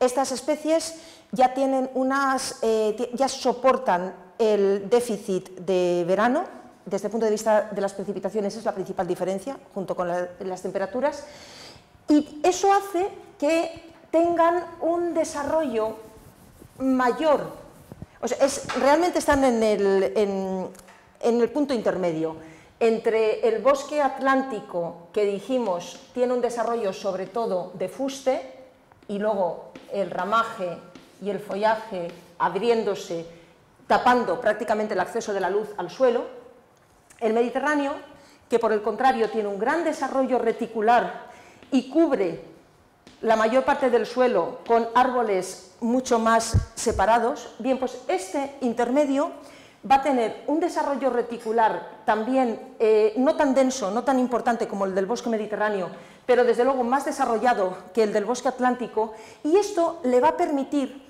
poder crecer de cepa, de matarrasa. Son bosques que tradicionalmente se han aprovechado con el corte a matarrasa, es decir, a nivel de suelo, y después rebrotan de raíz. Al rebrotar de raíz, rebrotan tallos. Es decir, que ya no vamos a tener estos fustales, ya no vamos a tener estos troncos eh, de dimensiones importantes, estos fustes de aprovechamiento maderero. Estos bosques están más adaptados al aprovechamiento de leñas, al igual que el del Mediterráneo. Están aprovechados a matarrasa y rebrotan de raíz. Son bosques que, por tanto, se eh, generan formaciones muy densas desde el punto de vista horizontal, arcabucos impenetrables. Son bosques muy densos que resultan en muchas ocasiones inaccesibles, intransitables por esa eh, estructura de tallar característica y son bosques que se aprovechan eh, de forma también mm, complementaria por parte del pastoreo en las zonas que se aclaran. Son bosques de corta, clareo, y aprovechamiento a matarrasa. Son bosques que tienen un aprovechamiento mucho más intensivo que el de los bosques atlánticos, con unos eh, desarrollos y unos crecimientos que permiten el aprovechamiento realmente productivo de madera. Y además, sobre todo, no ya en, las frondosas, sino en los bosques de repoblación de coníferas. Esta es la, geografía del, del Quercus eh, pubescens, del rebollo, del Quercus pubescente, que como estamos viendo prácticamente lo encontramos en las montañas que bordean la submeseta norte, es decir, eh, en el sistema central, en, los montes de León y Galicia, eh, mm, la parte meridional de la cordillera cantábrica, buena parte también del sistema ibérico, aunque igualmente aparece también en los montes de Toledo, en Sierra Morena, en, partes altas también de, la península, eh, perdón, de los sistemas béticos, es decir, que aparece siempre en formaciones montañosas que presentan unas características favorables para la adaptación de esta especie. Y en cuanto al Quercus faginea, el quejigo tiene una, eh, un patrón espacial, un patrón de, distribución espacial mucho más laxo, eh, afecta a mayor parte del territorio, no tiene una sujeción tan vinculada a las principales eh, cordilleras como hemos visto en este, en este sector. Y en cualquier caso el paisaje es este, este es el, es el, Valle del Lozoya, parte del Valle del Lozoya, las cumbres de Peñalara y, es el, típico, la típica estructura de tallar como consecuencia del aprovechamiento de matarrasa y aquí con superficies de clareo que están aprovechadas para pasto.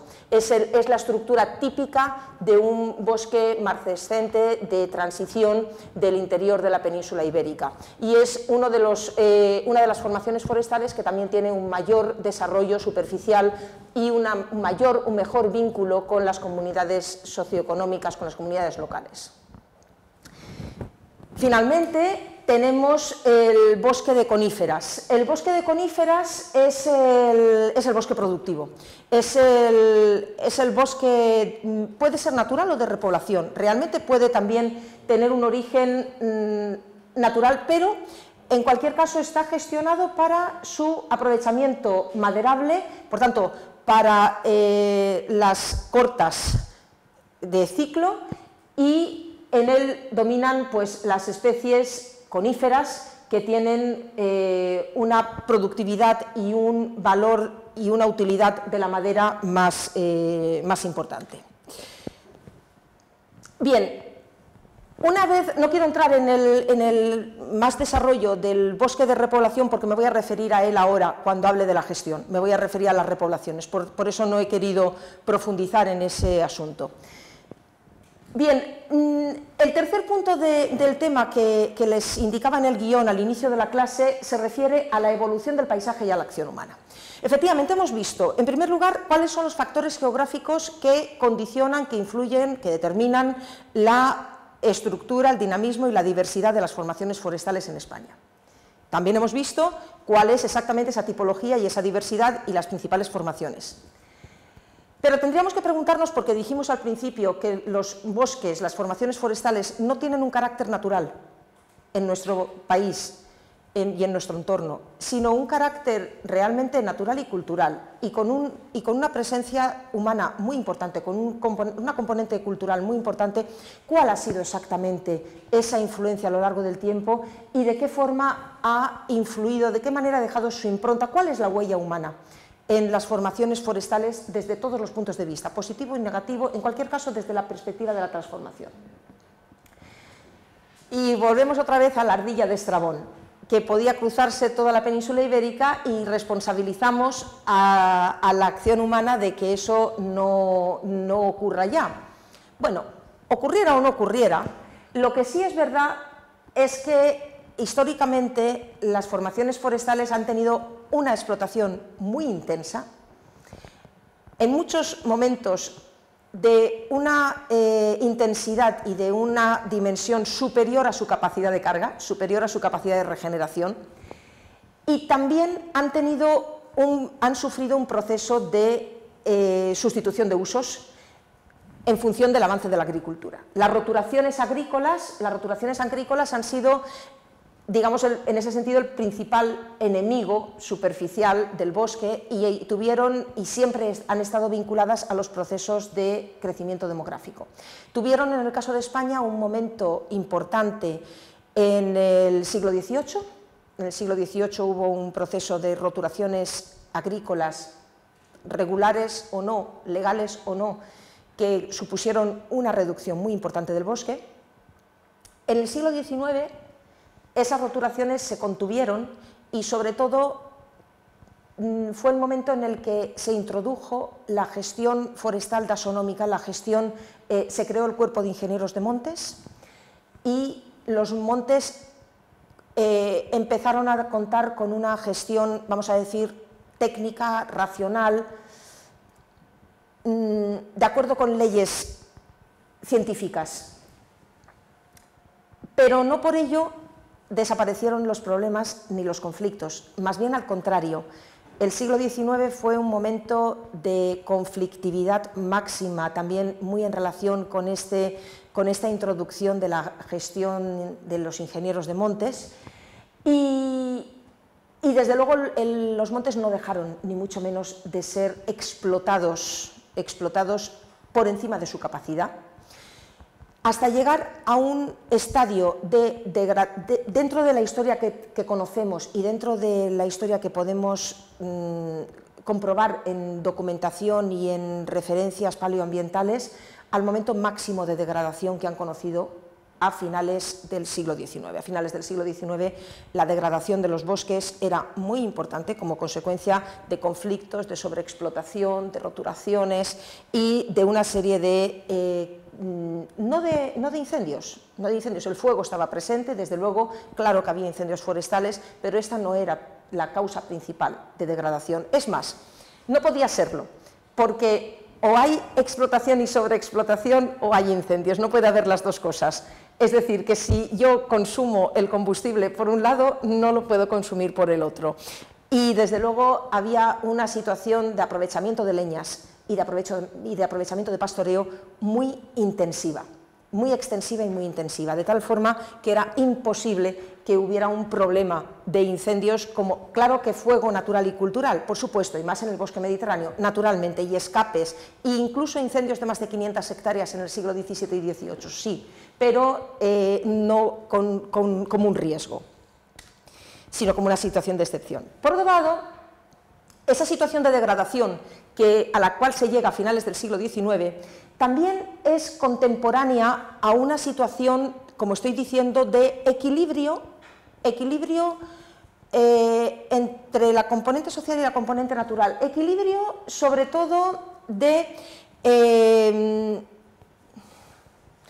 de adaptación de las comunidades locales a su entorno y de aprovechamiento y gestión del entorno. Ahora bien, ese equilibrio que consistía básicamente en el en, el funcionamiento de las economías domésticas tradicionales, en el funcionamiento de sistemas económicos locales de carácter cerrado, ese equilibrio también ha sido de alguna forma mitificado, también ha sido de alguna manera eh, convertido en un, tópico, en un ideal eh, y, se corresponde a un sistema del antiguo régimen en un tópico y en un ideal que, tampoco refleja una realidad de, eh, clímax, es decir, tenemos pruebas de polen, de documentos, etcétera, que nos confirman que en el siglo XVIII, en el siglo XIX, a principios del siglo XX, el bosque, las formaciones forestales, en ese supuesto equilibrio eh, agrosilvopastoral no tenían ni más riqueza, ni mejor estructura,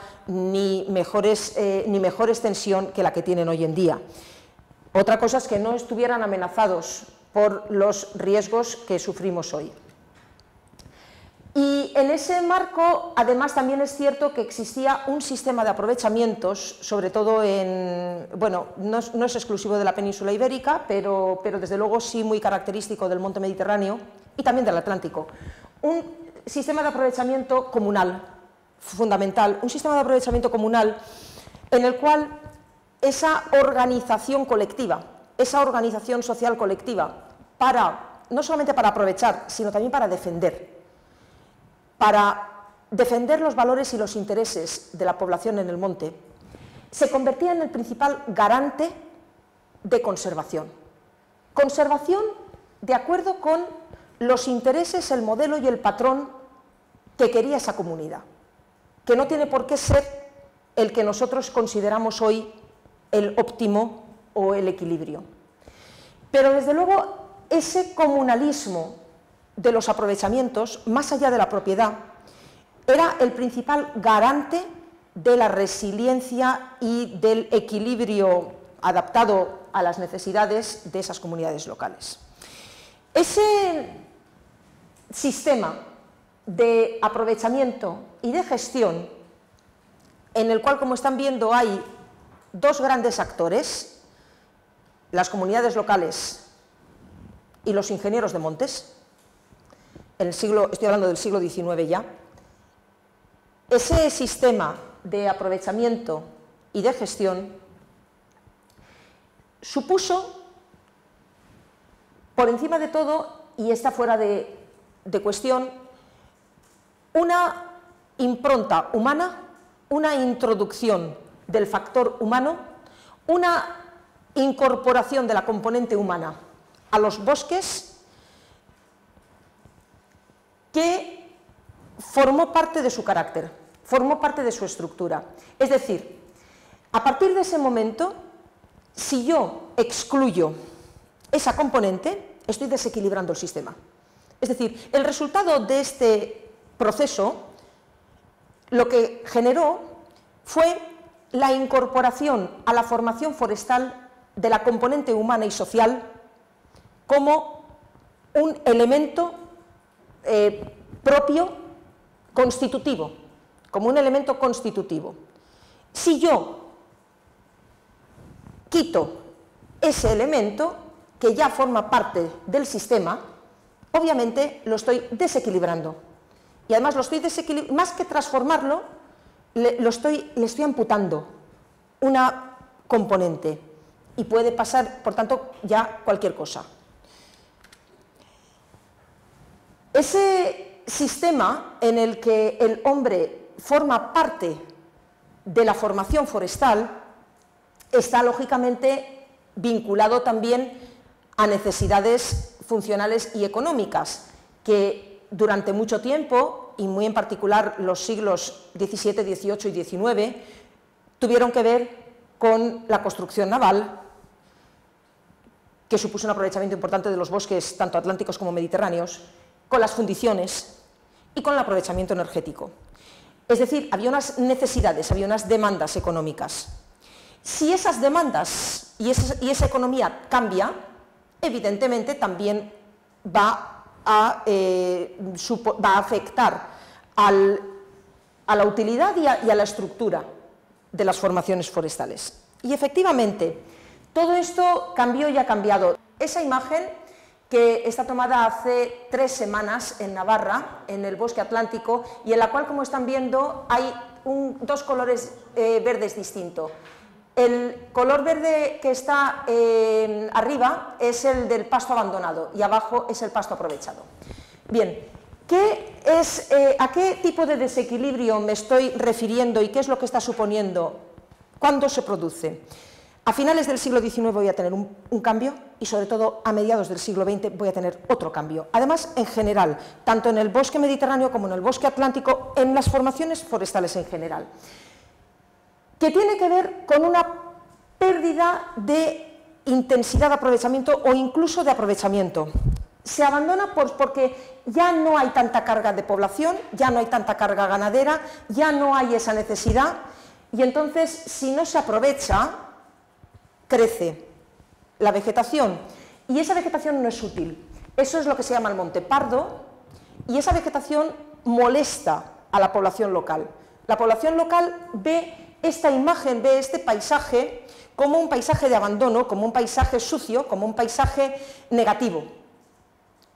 Y si no tiene ganado para limpiarlo, que es como se limpiaba, y si no recoge la leña porque no le hace falta y es más caro y además es que es inviable, entonces esto se limpia con fuego. Es la forma de limpiarlo, con fuego. Y además el fuego ha sido una herramienta de gestión. Claro está, el fuego controlado, el fuego como herramienta de gestión. El problema está en si yo utilizo esa herramienta sin dominarla, en el momento inadecuado y sobre todo sin una estructura social para manejarla. Y efectivamente en el tránsito del antiguo régimen al Estado liberal, pues cambian muchas cosas. Y una de las cosas que cambia es la introducción del cuerpo de ingenieros de montes. El cuerpo de ingenieros de montes que mete sus propias normas, sus propias leyes, su propio sistema y sobre todo que se convierte en ese momento en el defensor, en el garante, es decir, de alguna forma sustituye, viene a sustituir a las comunidades locales apuntando ya el inicio de un sistema social y económico diferente. Y viene a sustituir a las comunidades locales, sobre todo en un momento clave, que son las desamortizaciones de mediados del siglo XIX. La desamortización de Madoz, y la, primero la de Mendizábal, que tuvo menos importancia para los montes, y sobre todo la de Madoz en 1855. Porque los ingenieros de montes van a reivindicar que, estos, eh, que estas formaciones no pueden, no pueden privatizarse, no pueden venderse, no pueden pasar a manos de particulares que las van a aprovechar y las van a eh, explotar. De acuerdo con sus intereses particulares y que y por tanto y por tanto lo que van a hacer es plantear un esquema de excepción de la venta, de, eh, de salvar, salvar, rescatar, rescatar de la venta esos terrenos en función de sus valores ecológicos. Y a partir de ahí se van a crear los conocidos catálogos de montes de utilidad pública. Es una, eh, de nuevo, una seña de identidad de España. Somos el único país del mundo, de Europa y del mundo, que tiene esta figura, los montes de utilidad pública, y es una figura muy relacionada con nuestro carácter mediterráneo y con nuestro carácter nacional, son los, son los, espacios más protegidos, son los que tienen más eh, valor de protección en nuestro país, por encima, hasta si me apuran, de un parque nacional, porque estos bienes no se pueden vender, ni embargar, ni expropiar, ni cambiar de uso, o sea, un monte de utilidad pública es el espacio de mayor protección que tenemos en el país y cubren una amplísima superficie.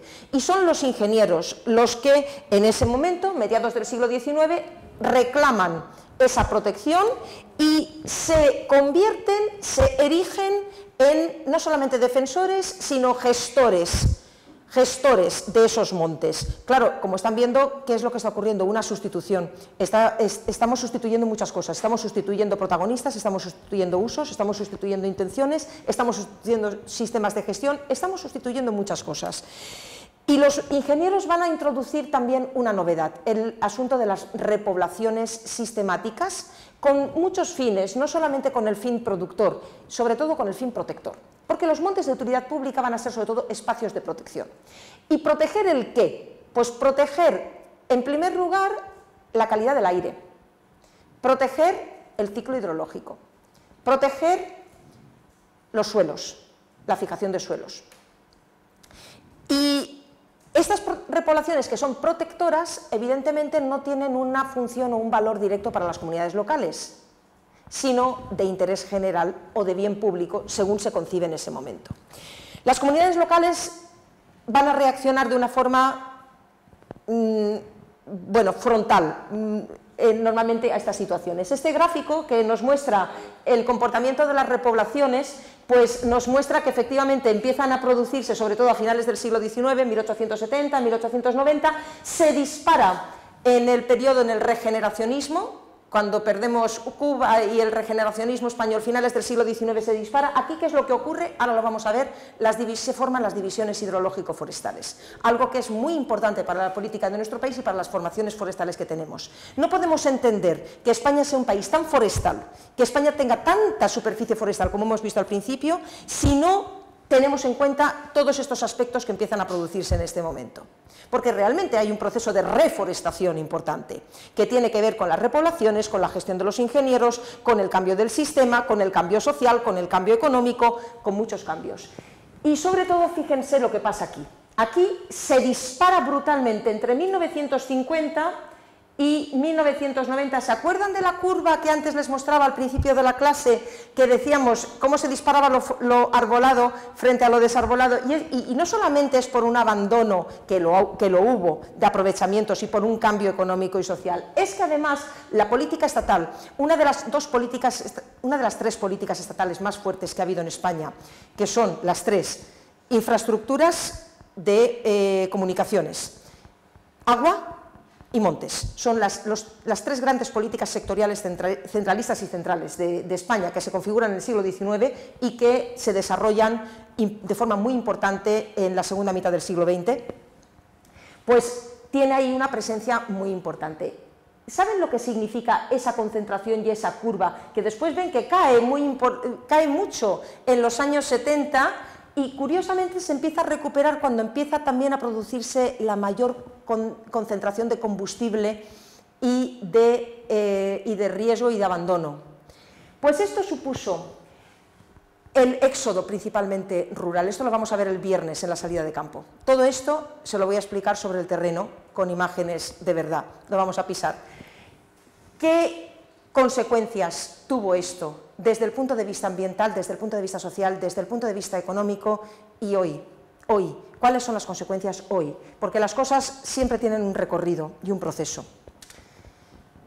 Estas imágenes que, bueno, se ven, ahora no las están viendo demasiado bien, de nuevo, lo siento mucho, en el vídeo sí que lo podrán apreciar bien. Son las imágenes de, las actuaciones de la primera división hidrológico forestal en, la cuenca del Segre, en el, Pirineo, en la otra presa en Málaga, cómo afectaban a las grandes cuencas hidrográficas. Los grandes eh, trabajos hidrológico-forestales consistieron desde, finales del siglo XIX hasta principios de, hasta, bueno, hasta los años 70, desde finales del 19 hasta los años 70, en una construcción sistemática y articulada de la red de embalses y las repoblaciones forestales. Eh, están relacionados porque claro, la repoblación es lo que hacía era sujetar los suelos para alargar la vida de los embalses y lo que las montañas finalmente se convirtieron, por eso les dije al principio, esa confusión entre montaña y monte, es que realmente las montañas fueron ocupadas y colonizadas por el monte, especialmente a partir de ese momento, y se convirtieron en productoras de agua. ¿Y todo eso para qué? Pues para abastecer a los núcleos urbanos y a las eh, zonas industriales que comenzaban a desarrollarse en el desarrollismo, años 60, en las cuencas interiores sobre todo y en las áreas litorales, los polos de desarrollo y las grandes ciudades del litoral. ¿Qué supone esto? Esto supone la generación del mayor de los desequilibrios territoriales que tenemos en el país. Este, este fue el origen de los desequilibrios territoriales, no estoy hablando de los regionales, de los, de los territoriales a escala nacional, son estos. Tenemos un país, como ustedes saben, de vacíos demográficos. Tenemos un país de contrastes, tenemos un país de grandes desiertos humanos, de grandes extensiones que no hay una persona, pero hay árboles, hay embalses, y todo eso luego con grandes focos, con grandes concentraciones. Eso obedece a una política pública, varias políticas públicas, eso es resultado de un concepto de organización del territorio planteado de arriba a abajo, evidentemente sin, ninguna maldad, es un planteamiento tecnocrático, es un planteamiento top-down que obedece a unos paradigmas y a, unos, a unas filosofías, a unos planteamientos de, de unos momentos históricos y que hoy pues genera unos problemas que evidentemente plantean retos, retos de gestión. Estas divisiones hidrológico-forestales tuvieron una implantación absolutamente en toda España. Nosotros vamos a ver el viernes las actuaciones aquí, en el extremo de la Sierra Norte de, Guadalajara, y cómo, eh, qué relación tuvieron con el desarrollo del único eje de desarrollo que tenemos en la región urbana de Madrid, que es el, corredor de Lenares, ¿Qué, relación tuvieron con los primeros polígonos industriales del país de los años 60? ¿Qué relación han tenido con los problemas que hoy surgen y también con las potencialidades de desarrollo de las áreas de montaña? Y, bueno, pues en el origen todas esas actuaciones hidrológico-forestales. Claro, para poder hacer eso, para poder eh, repoblar de esa manera y para poder construir embalses de esa manera, como ustedes podrán imaginar, lo primero que yo necesito es el control de la tierra, es el control del territorio. Yo no puedo actuar sobre algo que no me pertenece, sobre algo que no es de mi propiedad. Así que estas actuaciones de repoblación, sobre todo de carácter protector, y de construcción de embalses y de regulación de cursos hidrográficos, que eso lo veremos en la clase siguiente. ¿Qué llevaba detrás? O mejor dicho, delante. ¿Qué llevaba con carácter previo? Pues una de dos. O la compra o la expropiación. O una tercera vía, que era el consorcio. El consorcio, que es, yo te respeto la propiedad, pero tú me cedes durante 30 años el derecho de gestionarlo. Es bueno, una especie de hipoteca y eso se plantea con los ayuntamientos. Estas políticas de consecución de tierras, ¿qué significan? Significan una desposesión, significan una, eh, un desarraigo. Es decir, la población no solamente se va porque le interese o porque esté empobrecida, no, se va en muchos casos porque está obligada a irse, porque la echan, porque le compran el término. Entonces, si me compran el término, yo me quedo sin sustento, me tengo que ir. O sea que mm, en muchos casos no fue la compra o el consorcio no fue consecuencia de el éxodo, sino al revés. Eran en cualquier caso procesos muy difíciles de separar y, cada situación local tiene un contexto diferente. no podemos generalizar tampoco, no podemos esto hacer una lectura, pero lo que sí está claro es que la implantación fue en toda España, que hubo un éxodo rural, que hubo una política y unas intervenciones que han supuesto un desarraigo y que hoy, actualmente, y esto es uno de los principales problemas que tienen las formaciones forestales, no se sabe de quién son. la propiedad. Hasta aquí no habíamos hablado de la propiedad, ahora ya hablamos de ella. Porque esos montes que habíamos dicho que se aprovechaban comunalmente y que la propiedad, bueno, era indefinida entre comillas, pertenecía al señor territorial o pertenecía al ayuntamiento o pertenecía al común de vecinos, poco importa, porque se aprovechaba en común. Cuando ese aprovechamiento común se desbarata, se desarticula, entra, entra la gestión forestal, la ingeniería forestal, organiza ese territorio de otra forma, lo compra, retiene lo público y lo privado se privatiza, pero desarticulado el territorio, desarraigo y desarticulación territorial y social.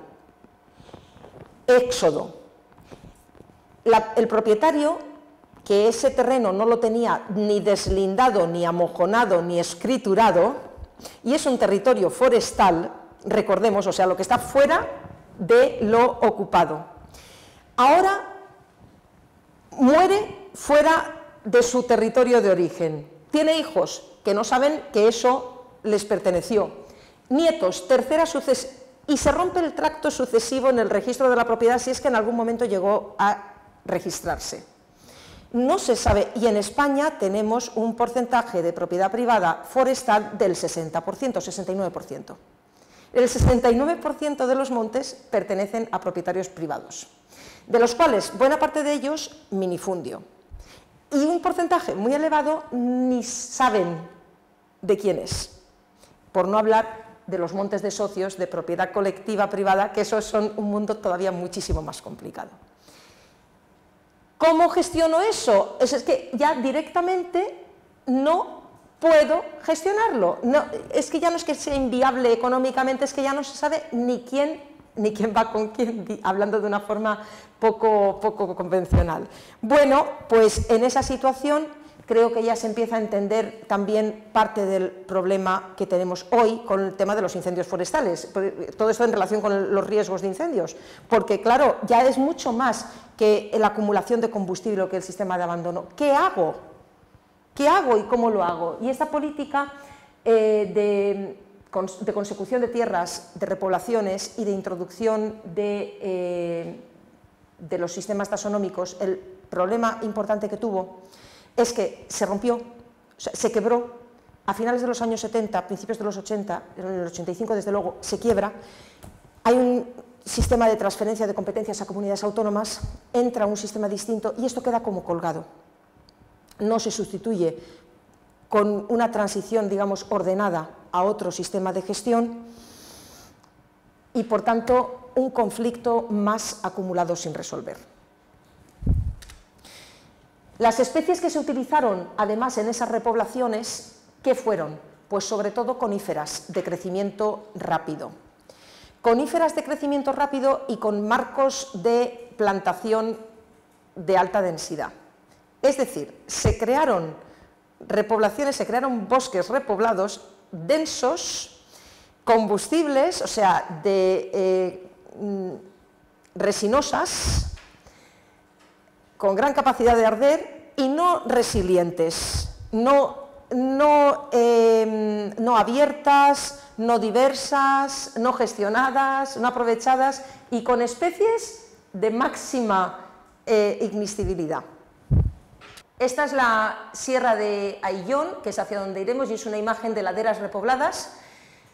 Esa imagen de repoblaciones forestales. ¿Qué significado tiene para la población local? Ninguno. Es que de hecho ya no hay población local.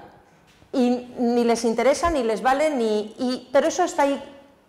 ¿Y eso qué significa? Plagas, porque nadie lo está gestionando, nadie está haciendo trabajos silvícolas, plagas, eso son, eh, una especie forestal es un ser vivo, eso mm, crece, muere, se acumula leña, leña muerta. Si existe un factor de ignición, un, uno, que puede ser yo que voy el fin de semana, yo no fumo, pero puedo fumar y arrojo el cigarrillo. Bueno, el mito del cigarrillo es, es un mito, efectivamente, pero un cigarrillo con el 30-30-30, ahí no es un mito. Y, o simplemente cualquier escape fortuito o simplemente que, un pasto, cualquier simplemente, cualquier simplemente, y les aseguro que lo de menos es la intencionalidad o la criminalidad, se lo aseguro porque es verdad y está, y está comprobado. Eso ya está preparado. Hay otras imágenes que, podrán ver después, sobre todo de comparación, donde verán eh, un bosque a finales del siglo XIX y hoy. Es decir, en 100 años hemos hecho un territorio que efectivamente tiene una superficie forestal mayor, pero de menos riqueza, de menos variedad, de menos utilidad y de mayor fragilidad. Es esa es la vegetación forestal hoy, el estado actual hoy. Y la causa no se reduce a los últimos 5, 15 o 20 años. La causa viene de procesos muy prolongados en el tiempo. Eso tiene, naturalmente, eh, posibilidad de gestión. Claro que se puede hacer. Lo que pasa es que hay que saber qué se quiere hacer y qué se tiene que, y qué se tiene que hacer. Pero claro que se puede actuar. Es más, es muy importante actuar. Afortunadamente esto ya no se sigue haciendo. ¿Saben lo que tienen aquí? ¿No? Las famosas forestaciones de tierras agrícolas. Ahí lo que tienen son... Y ahora me dicen ustedes, pues menuda agricultura. Miren. Y esto es la zona de... Mm, ¿Cómo se llama? Eh, cerca de Cadalso de los Vidrios, y aquí también hay plantaciones de frondosas. y ustedes me dirán, ¿y eso es agrícola? Eso fue agrícola un día. Eso fue agrícola un día y es más, la mayor parte de ellas, como están viendo, son de esas y ya dijimos que la de esa, según yo la puedo considerar agrícola o forestal. Lo puedo vender como un sistema agro-silvopastoral y si entra en los cánones de las medidas agroambientales europeas, pues lo financian. Miren, este es el paquete de medidas de forestación de tierras agrícolas que financió la Unión Europea en los años 90 supuso una transformación de tierras, justo todo lo contrario que decíamos antes. Aquí se pasó lo agrícola a forestal, pero ¿era agrícola? No, ya no era agrícola, ya se había abandonado el aprovechamiento agrícola. Ya esas, esas superficies ya estaban en proceso de reforestación, ya estaban en unos procesos de regeneración avanzada. Pero entonces a los propietarios se les dio dinero de Europa, muchísimo dinero, muchísimo dinero. Fue un programa que tuvo una subvención millonaria para convertir lo agrícola a forestal. Esas medidas tenían su origen en otros países de nuestro entorno, donde sí se justificaban. Pero en España, precisamente, era lo peor que se podía hacer, porque de alguna forma lo que se estaba haciendo era consolidar, en lugar de resolver el problema creado, lo estábamos agravando. Estábamos consolidando el arcabuco en las parcelas de primera y segunda generación de incendios que yo les explicaba la clase anterior. Así que si faltaba algo, las forestaciones de tierras agrícolas, es más, según el cuaderno de cargas que se establece con la Unión Europea, durante 30 años no puedes cambiar la gestión. Es decir, esto sí que fue, digamos, el remate. Hemos visto que en el año 85 se disparan unos indicadores, empieza a haber incendios de segunda generación y llega a finales de los años 80 la PAC y me mete las medidas de forestación de tierras agrícolas y el país de Europa que más se acoge a esta medida es España, claro, porque tiene tierras disponibles de las del abandono, ya estaban abandonadas y no había que, trasformar nada, lo que hicieron fue plantar en las tierras que ya estaban abandonadas. Esto de esto se benefició toda España económicamente, quiero decir, propiedad privada, propiedad pública, ayuntamientos, propietarios grandes, pequeños, y Claro, cuando terminó de aplicarse este programa en el año, creo, 1999, la que se había ya preparado era importante. Así que el problema de los incendios, como les dije en la clase anterior, es muchísimo más complicado y muchísimo más enrevesado de lo que nos podemos imaginar. Nada de simplicidades, nada de simplezas, y ahí hay muchos factores, y desde luego la escala local es importante para entenderlo. Claro, pues ya con eso es con lo que iba a terminar, con el tema de, los incendios eh, forestales, la evolución del paisaje forestal para eh, entender el problema de los incendios forestales. Miren, este paisaje que tienen aquí es lo que se llamaría un paisaje de fuego, no un paisaje de incendios. Esto es un paisaje resiliente, esto es un paisaje que se quema, claro que se quema, pero aquí yo no voy a tener un gran incendio, yo no voy a tener un... ¿Qué se entiende por gran incendio? Un incendio de alta intensidad y de alta velocidad. Yo aquí no voy a tener un gran incendio, voy a tener un incendio, voy a tener fuego, pero no voy a tener un gran incendio. Si no tengo un gran... ¿Y por qué? Pues porque miren cómo está este paisaje, está abierto, está adaptado, está todo colonizado y es, desde luego no está en las mejores condiciones, ¿eh? es un paisaje que está abandonado, pero es un paisaje resiliente, es un paisaje de donde no se ha sacado el fuego, es un paisaje donde no se ha, que no se ha repoblado, que no se ha transformado el sistema de gestión y que tiene una presencia de fuego recurrente de baja intensidad. aquí el fuego no va a alcanzar unos valores caloríficos que me destruyan el suelo, que me impidan la regeneración, el fuego y, las especies y, el ecosistema están en equilibrio todavía. Está muy degradado. Hemos visto que efectivamente no es precisamente el ideal de paisaje, pero es un paisaje resiliente. Claro, es, un paisaje en el cual esa relación territorio-fuego todavía no se ha roto. Es una relación que, eh, ¿cuándo se rompe? Cuando yo saco el fuego porque lo prohíbo, porque digo, no, el fuego es contrario a mis fines de repoblación y, a la dasonomía y, todo es contra el fuego y, y, hay que luchar contra el fuego y hay que evitar el fuego y hay que eliminar el fuego. Problema. El incendio sí, el fuego no. Porque hemos dicho desde el principio que ese monte necesita el fuego, como necesita el hombre. Son factores que forman parte, son elementos constitutivos y si yo los quito estoy desequilibrando. Y si estoy desequilibrando en una situación, además compleja, estoy causando, ya estoy creando causas estructurales del máximo riesgo de incendio que puedo tener. Claro, lo que voy a hacer es que el día que haya un incendio, durante 30 años no voy a tener incendio, pero el día que tenga un incendio, acabo con ese territorio para siempre. Y además con ese territorio y con las personas que se metan dentro. Es decir, no, ese paisaje ya no es resistente ni resiliente, ese paisaje ya no se, ya no se defiende. Mm, hay un, ingeniero actual, que es el mejor analista de incendios, Marc Castelló, que dice que lo que hemos creado como consecuencia de todos estos procesos de esta evolución a distintas escalas espaciotemporales, lo que hemos creado es una situación de eh, incendios selectivos a la inversa. O sea, los incendios que hoy existen son los malos, no los buenos. Es la, ley, la selección de Darwin a la inversa. Porque los incendios buenos, los pequeños, los podemos apagar, los sabemos apagar, tenemos medios para apagarlos. Los pequeños incendios y los incendios moderados, eso los apagamos todos. Pero el grande no podemos apagarlo. Y ese grande es el que vive hoy. Y ese grande es el que vive en ese tipo de territorios desarticulados, no el de la imagen que les he puesto, pero sí en otras imágenes. ¿Y, y cuáles son los episodios recientes que han echado todavía más leña a ese fuego? Pues miren, el aumento precisamente de la superficie forestal, de su continuidad y de su densidad, eso que les decía al principio de la clase. Yo les digo a ustedes, o alguien dice en un telediario, que España es un país forestal, lo primero no se lo van a creer. A continuación, cuando lo demostremos, cuando digamos, fíjense ustedes que sí, que tenemos este volumen de superficie forestal que tenemos, somos el tercer país de Europa con esta superficie forestal. Y fíjense ustedes además que la mayor parte de, esa superficie ya es arbolada, que está desarrollándose y todo el mundo se va a poner muy contento. Todo el mundo se va a poner muy contento ante esa noticia.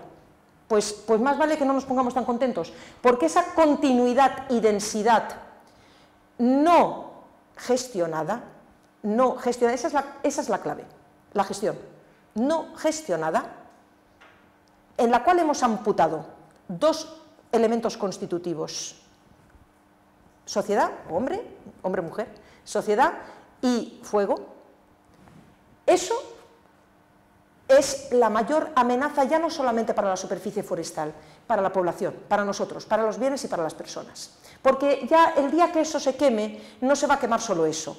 Se va a quemar eso, se va a quemar el pueblo, se va a quemar el cultivo, se va a quemar todo.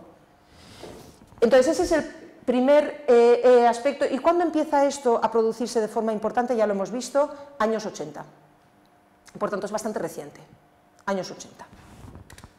Otro factor, la creciente urbanización dispersa, nuestro modelo de urbanización. Tenemos un modelo de urbanización que se consolida justamente también a partir de ese momento, a partir de los años 80, cambia nuestro modelo de construcción, de, de urbanización concentrado en ciudades y se sustituye principalmente por una tendencia, que vamos a estudiar también en la asignatura, de urbanismo disperso, el urban sprawl. Y ese urbanismo disperso, que nosotros no somos los peores en el mundo, precisamente los que están peor que nosotros son California, justamente es el mayor problema de los incendios de California. Pues, ¿qué es lo que supone? Exposición, porque ese urbanismo se me mete en las masas forestales. Encima es un paisaje de referencia, es un paisaje bonito, es un paisaje que yo considero, y se mete inconsciente, se mete además sin conciencia de dónde se está metiendo sin conciencia de riesgo y sin prevención de ningún tipo. Ese urbanismo disperso es la segunda gran componente del problema. Al meterse, miren lo que hace. Hace un continuo, una mancha, en la cual la matriz envolvente ya no se sabe si forestal, agrícola o eh, ganadera, forma un continuo, una malla. Ustedes díganme ahora si hay un incendio, por dónde intervengo. ¿Qué protejo primero y cómo?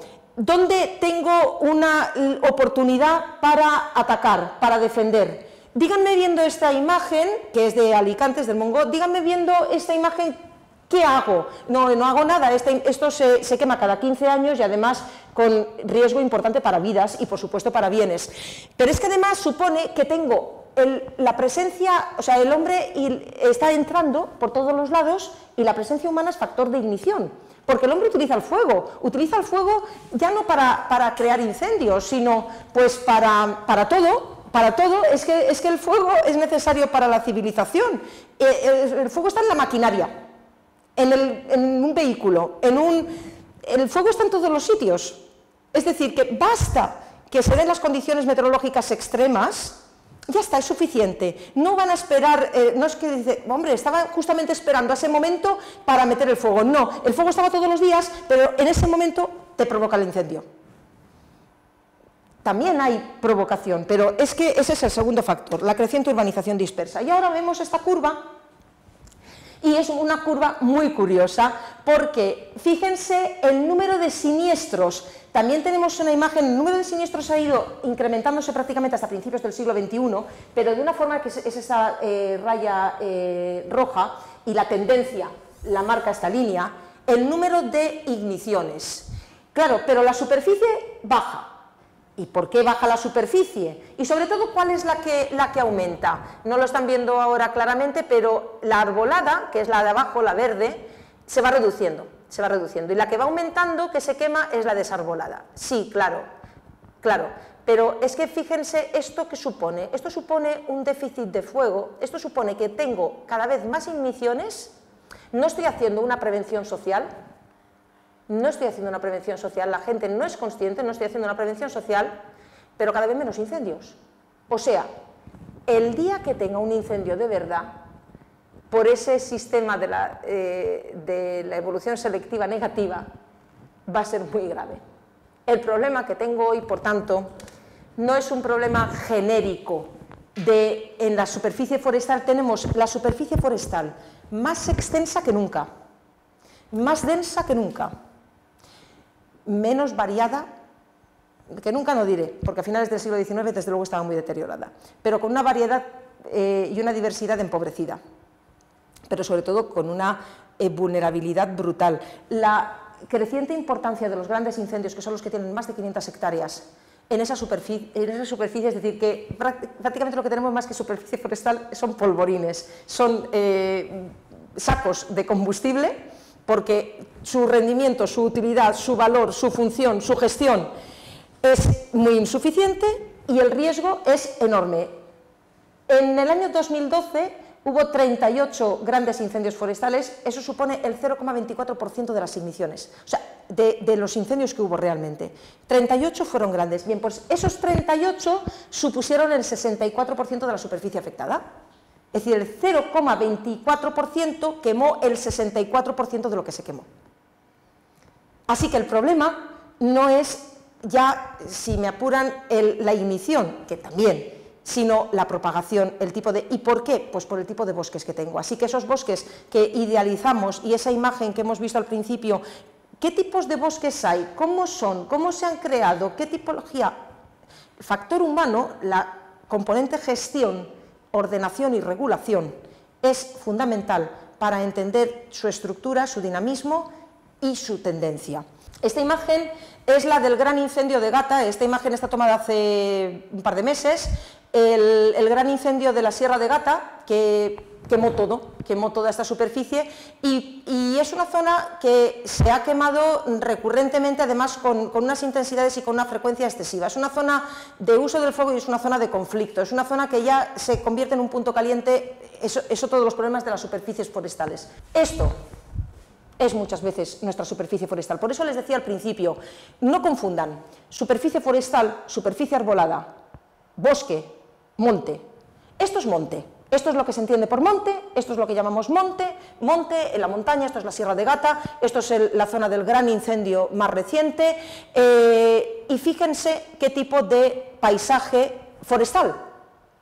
Pues es un paisaje, por supuesto, desarbolado, es un paisaje de suelos empobrecidos, es un paisaje en el que la regeneración resulta cada vez más complicada debido a la recurrencia de grandes incendios de alto valor calorífico y este paisaje, evidentemente, es un paisaje de expulsión. No es que ya sea un paisaje degradado, es que este paisaje no facilita, no, es, eh, no permite la organización del territorio. Entonces, y ese paisaje, esa superficie forestal, no es resultado, no es consecuencia principal ni exclusivamente del relieve, del clima y de la litología, sino de la acción humana. Y de la acción humana no ya reciente encendiendo una cerilla, sino de la acción humana acumulada desde como mínimo principios del siglo XIX, con una serie de actuaciones y etapas que se han sucedido de forma discontinua, eso también es muy importante, nuestra superficie forestal no tiene una evolución continua y progresiva, sino discontinua y con puntos de ruptura. Esos puntos de ruptura sociales, económicos y ecológicos generan una superficie cada vez menos rica, cada vez más extensa, cada vez más vulnerable y a todo esto súmenle ahora el factor que supongo estarán pensando, el factor de incertidumbre del cambio climático actual. Es decir, la, desestabilización del sistema ambiental actualmente está sujeto a otros parámetros de, escala global que lógicamente inciden en esa, en esa situación. Claro, frente a eso, miren, estas imágenes de nuevo son de principios de verano las tres son de principios del, verano 2017 y es otro sector de la Sierra de Gata. Esto es un paisaje resiliente. En este paisaje resiliente tenemos comprobación de presencia de fuego, de pequeño fuego, de fuego de poca intensidad, desde como mínimo datado, como mínimo desde finales del siglo XVIII, con una recurrencia casi anual, de, pequeña intensidad y por distintos motivos. Esa imagen está tomada mm, a principios del verano es una quema, como están viendo, es una quema de limpia. ¿Vieron el monte, el monte Pardo cuando les puse en la otra diapositiva del bosque atlántico? Aquí estamos en el Mediterráneo, aquí estamos en la Sierra de Gata, el extremo occidental del sistema central. Desde luego, unas comunidades locales desarticuladas, poca población, la ganadería ya muy reducida. Esta es una imagen de ganadería en una zona de, olivar y de abandono mm, progresivo, pero la, ganadería ya tiene una carga muy baja. Pero se sigue quemando para limpiar. Ese fuego de baja intensidad, fíjese, no hay ninguna persona, se apaga solo, se enciende por la tarde, quema por la noche y, y el señor se va, o la señora se va, sí, y se apaga solo.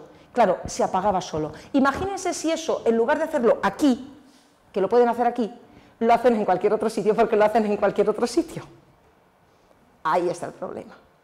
No lo puedo hacer en cualquier sitio ni en cualquier momento y el paisaje de hoy es diferente al que era antes y la población también y los usos también, la carga también. Si yo tengo este sistema claro, el equilibrio, ese clímax natural que no existe, pero al cual nos podemos acercar si propiciamos el equilibrio en las formaciones forestales. Si yo tengo un aprovechamiento, sobre todo el pastoreo en el Mediterráneo, y tengo fuego, que es uno de los elementos vinculados al monte Mediterráneo. Estoy hablando sobre todo del monte Mediterráneo, pero también podría hablar del Atlántico y estaríamos en la misma situación, solamente que aquí el pastoreo tendría otro, significado distinto según de qué, de, qué, de qué, lugar estuviéramos hablando. Pero es lo mismo, ¿eh? Allí los incendios, claro, son de, eh, son de invierno y son de cuando gestionan los pastos, y sobre todo de primavera. Si yo tengo esto, voy a tener fuego, voy a tener régimen de fuego y voy a tener un equilibrio de la superficie forestal, es verdad que va a ser una superficie forestal menos arbolada, es verdad que va a ser una superficie forestal más reducida. Es verdad.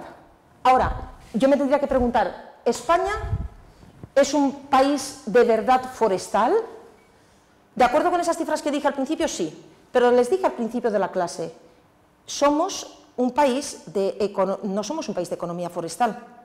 Tenemos una economía agrícola importante, fuerte, tenemos una economía terciaria fuerte, pero no tenemos una economía forestal fuerte. A escala regional, sí, de acuerdo, en el País Vasco, en Navarra, en Galicia, hay una economía, pero, pero no es esa nuestra economía. Por tanto, esa superficie forestal, ¿cuál es el valor que tiene desde el punto de vista económico y social? ¿Y para qué sirve y cómo se gestiona? Entonces, ¿es bueno, es positivo? ¿Eso es un indicador positivo? ¿El crecimiento de la superficie forestal y no importa qué superficie forestal es bueno? Son una serie de preguntas que a escala territorial permiten eh, entender un poquito nuestra geografía y valorar o evaluar pues, algunos de los parámetros. Y la vegetación forestal no podemos convertirla en un ideal de eh, objetivo y pues si estamos ganando superficie y si estamos ganando que además sea arbolado y si pues todo eso es óptimo, bueno, pues probablemente no sea tan óptimo y probablemente lo que estemos haciendo sea un, incrementar la vulnerabilidad y desestabilizar ya no, ese, ya no la vegetación forestal, sino el conjunto del territorio, probablemente, en, porque no hay una respuesta única que nos sirva para todo el territorio español, pero desde luego eso en buena medida es, es, es una explicación. Bueno, eh, lo voy a dejar aquí